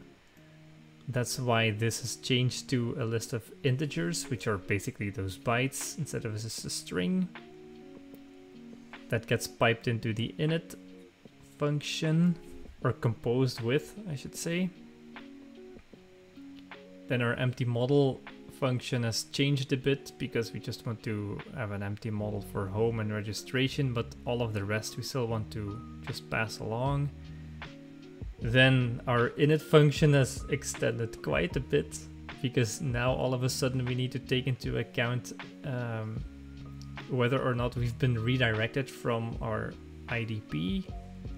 A clear URL command or shorthand for a command function in fact to replace the URL with uh, the redirect URI. Then the good old fetching the leaderboard. And then some stuff to deal with uh, entering the application, whether that be a successful authentication redirect from the IDP or just a fresh start. That would be this one. Um, and then yeah, this we couldn't test yet, but the code is already there, I guess. And neither could we test this here. To do all of that, we needed to introduce auth flow, some error here, uh, user info object which we're not using, um, a way to deal with the sign in requested, which will call a port that will then generate random bytes which we're listening to uh, down below somewhere which I should show later. Uh, which I should show now in fact because you're subscribing to a random bytes function. That will then get triggered by JavaScript. We will receive this thing which has a list of bytes where is that stuff? That's over here. That's the handler function for that message type, which will then do um, a redirect to the IDP basically. It's a very weird way to deal with all of that stuff.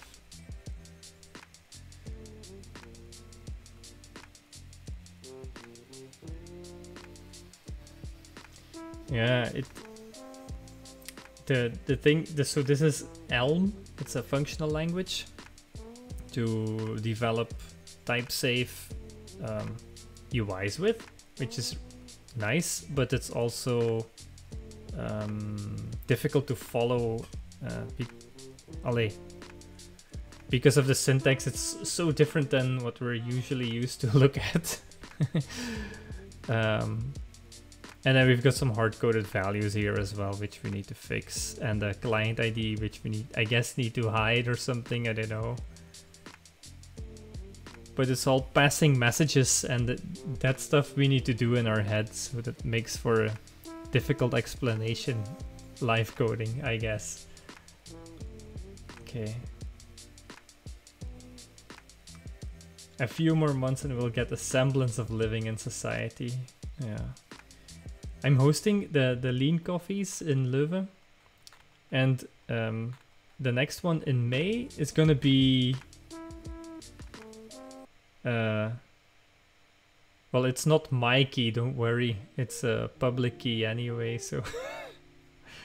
this is why I wanted to have a local Keycloak uh, ID as an IDP. That, that I don't care if I expose these keys. Uh, but yeah.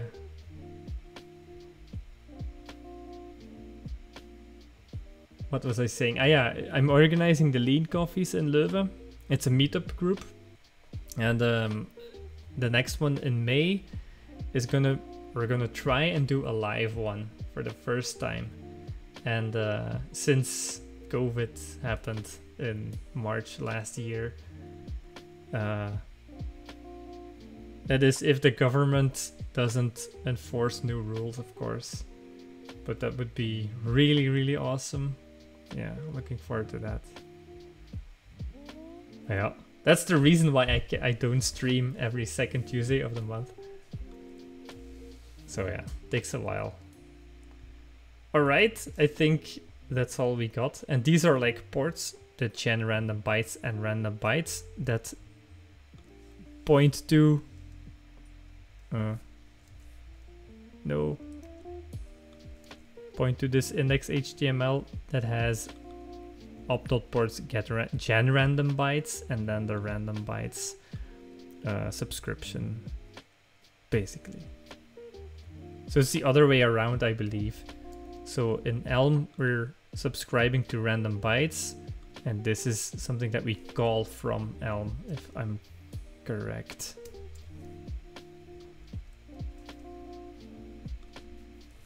Gen random bytes.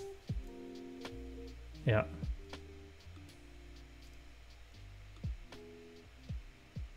Does Zappa still work there? Um. yes, I think. So th this is a, a weird question to ask because now I don't know uh, what there is. but the answer is yes, he still works. there.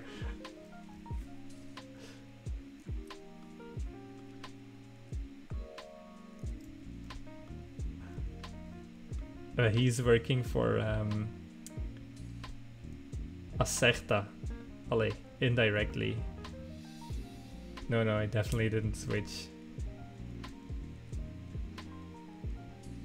But he's not uh, on, on the same project that I am right now, so...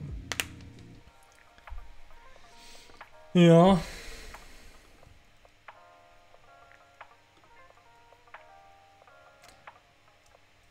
Yeah.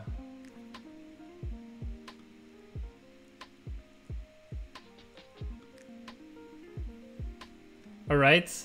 Um, gonna call it quitsies. Thanks for hanging out. Thanks for coming to say hi. And uh, yeah, I'll send Seppa your regards. Without a knife in his abdomen. Ale. See you, I think next, oh Jesus, let me check. Because it, either it's Sunday or, no, it's next Tuesday, yeah, for sure. Do use the horse's head. Okay, will do. Alright. See you around. Bye. Peace.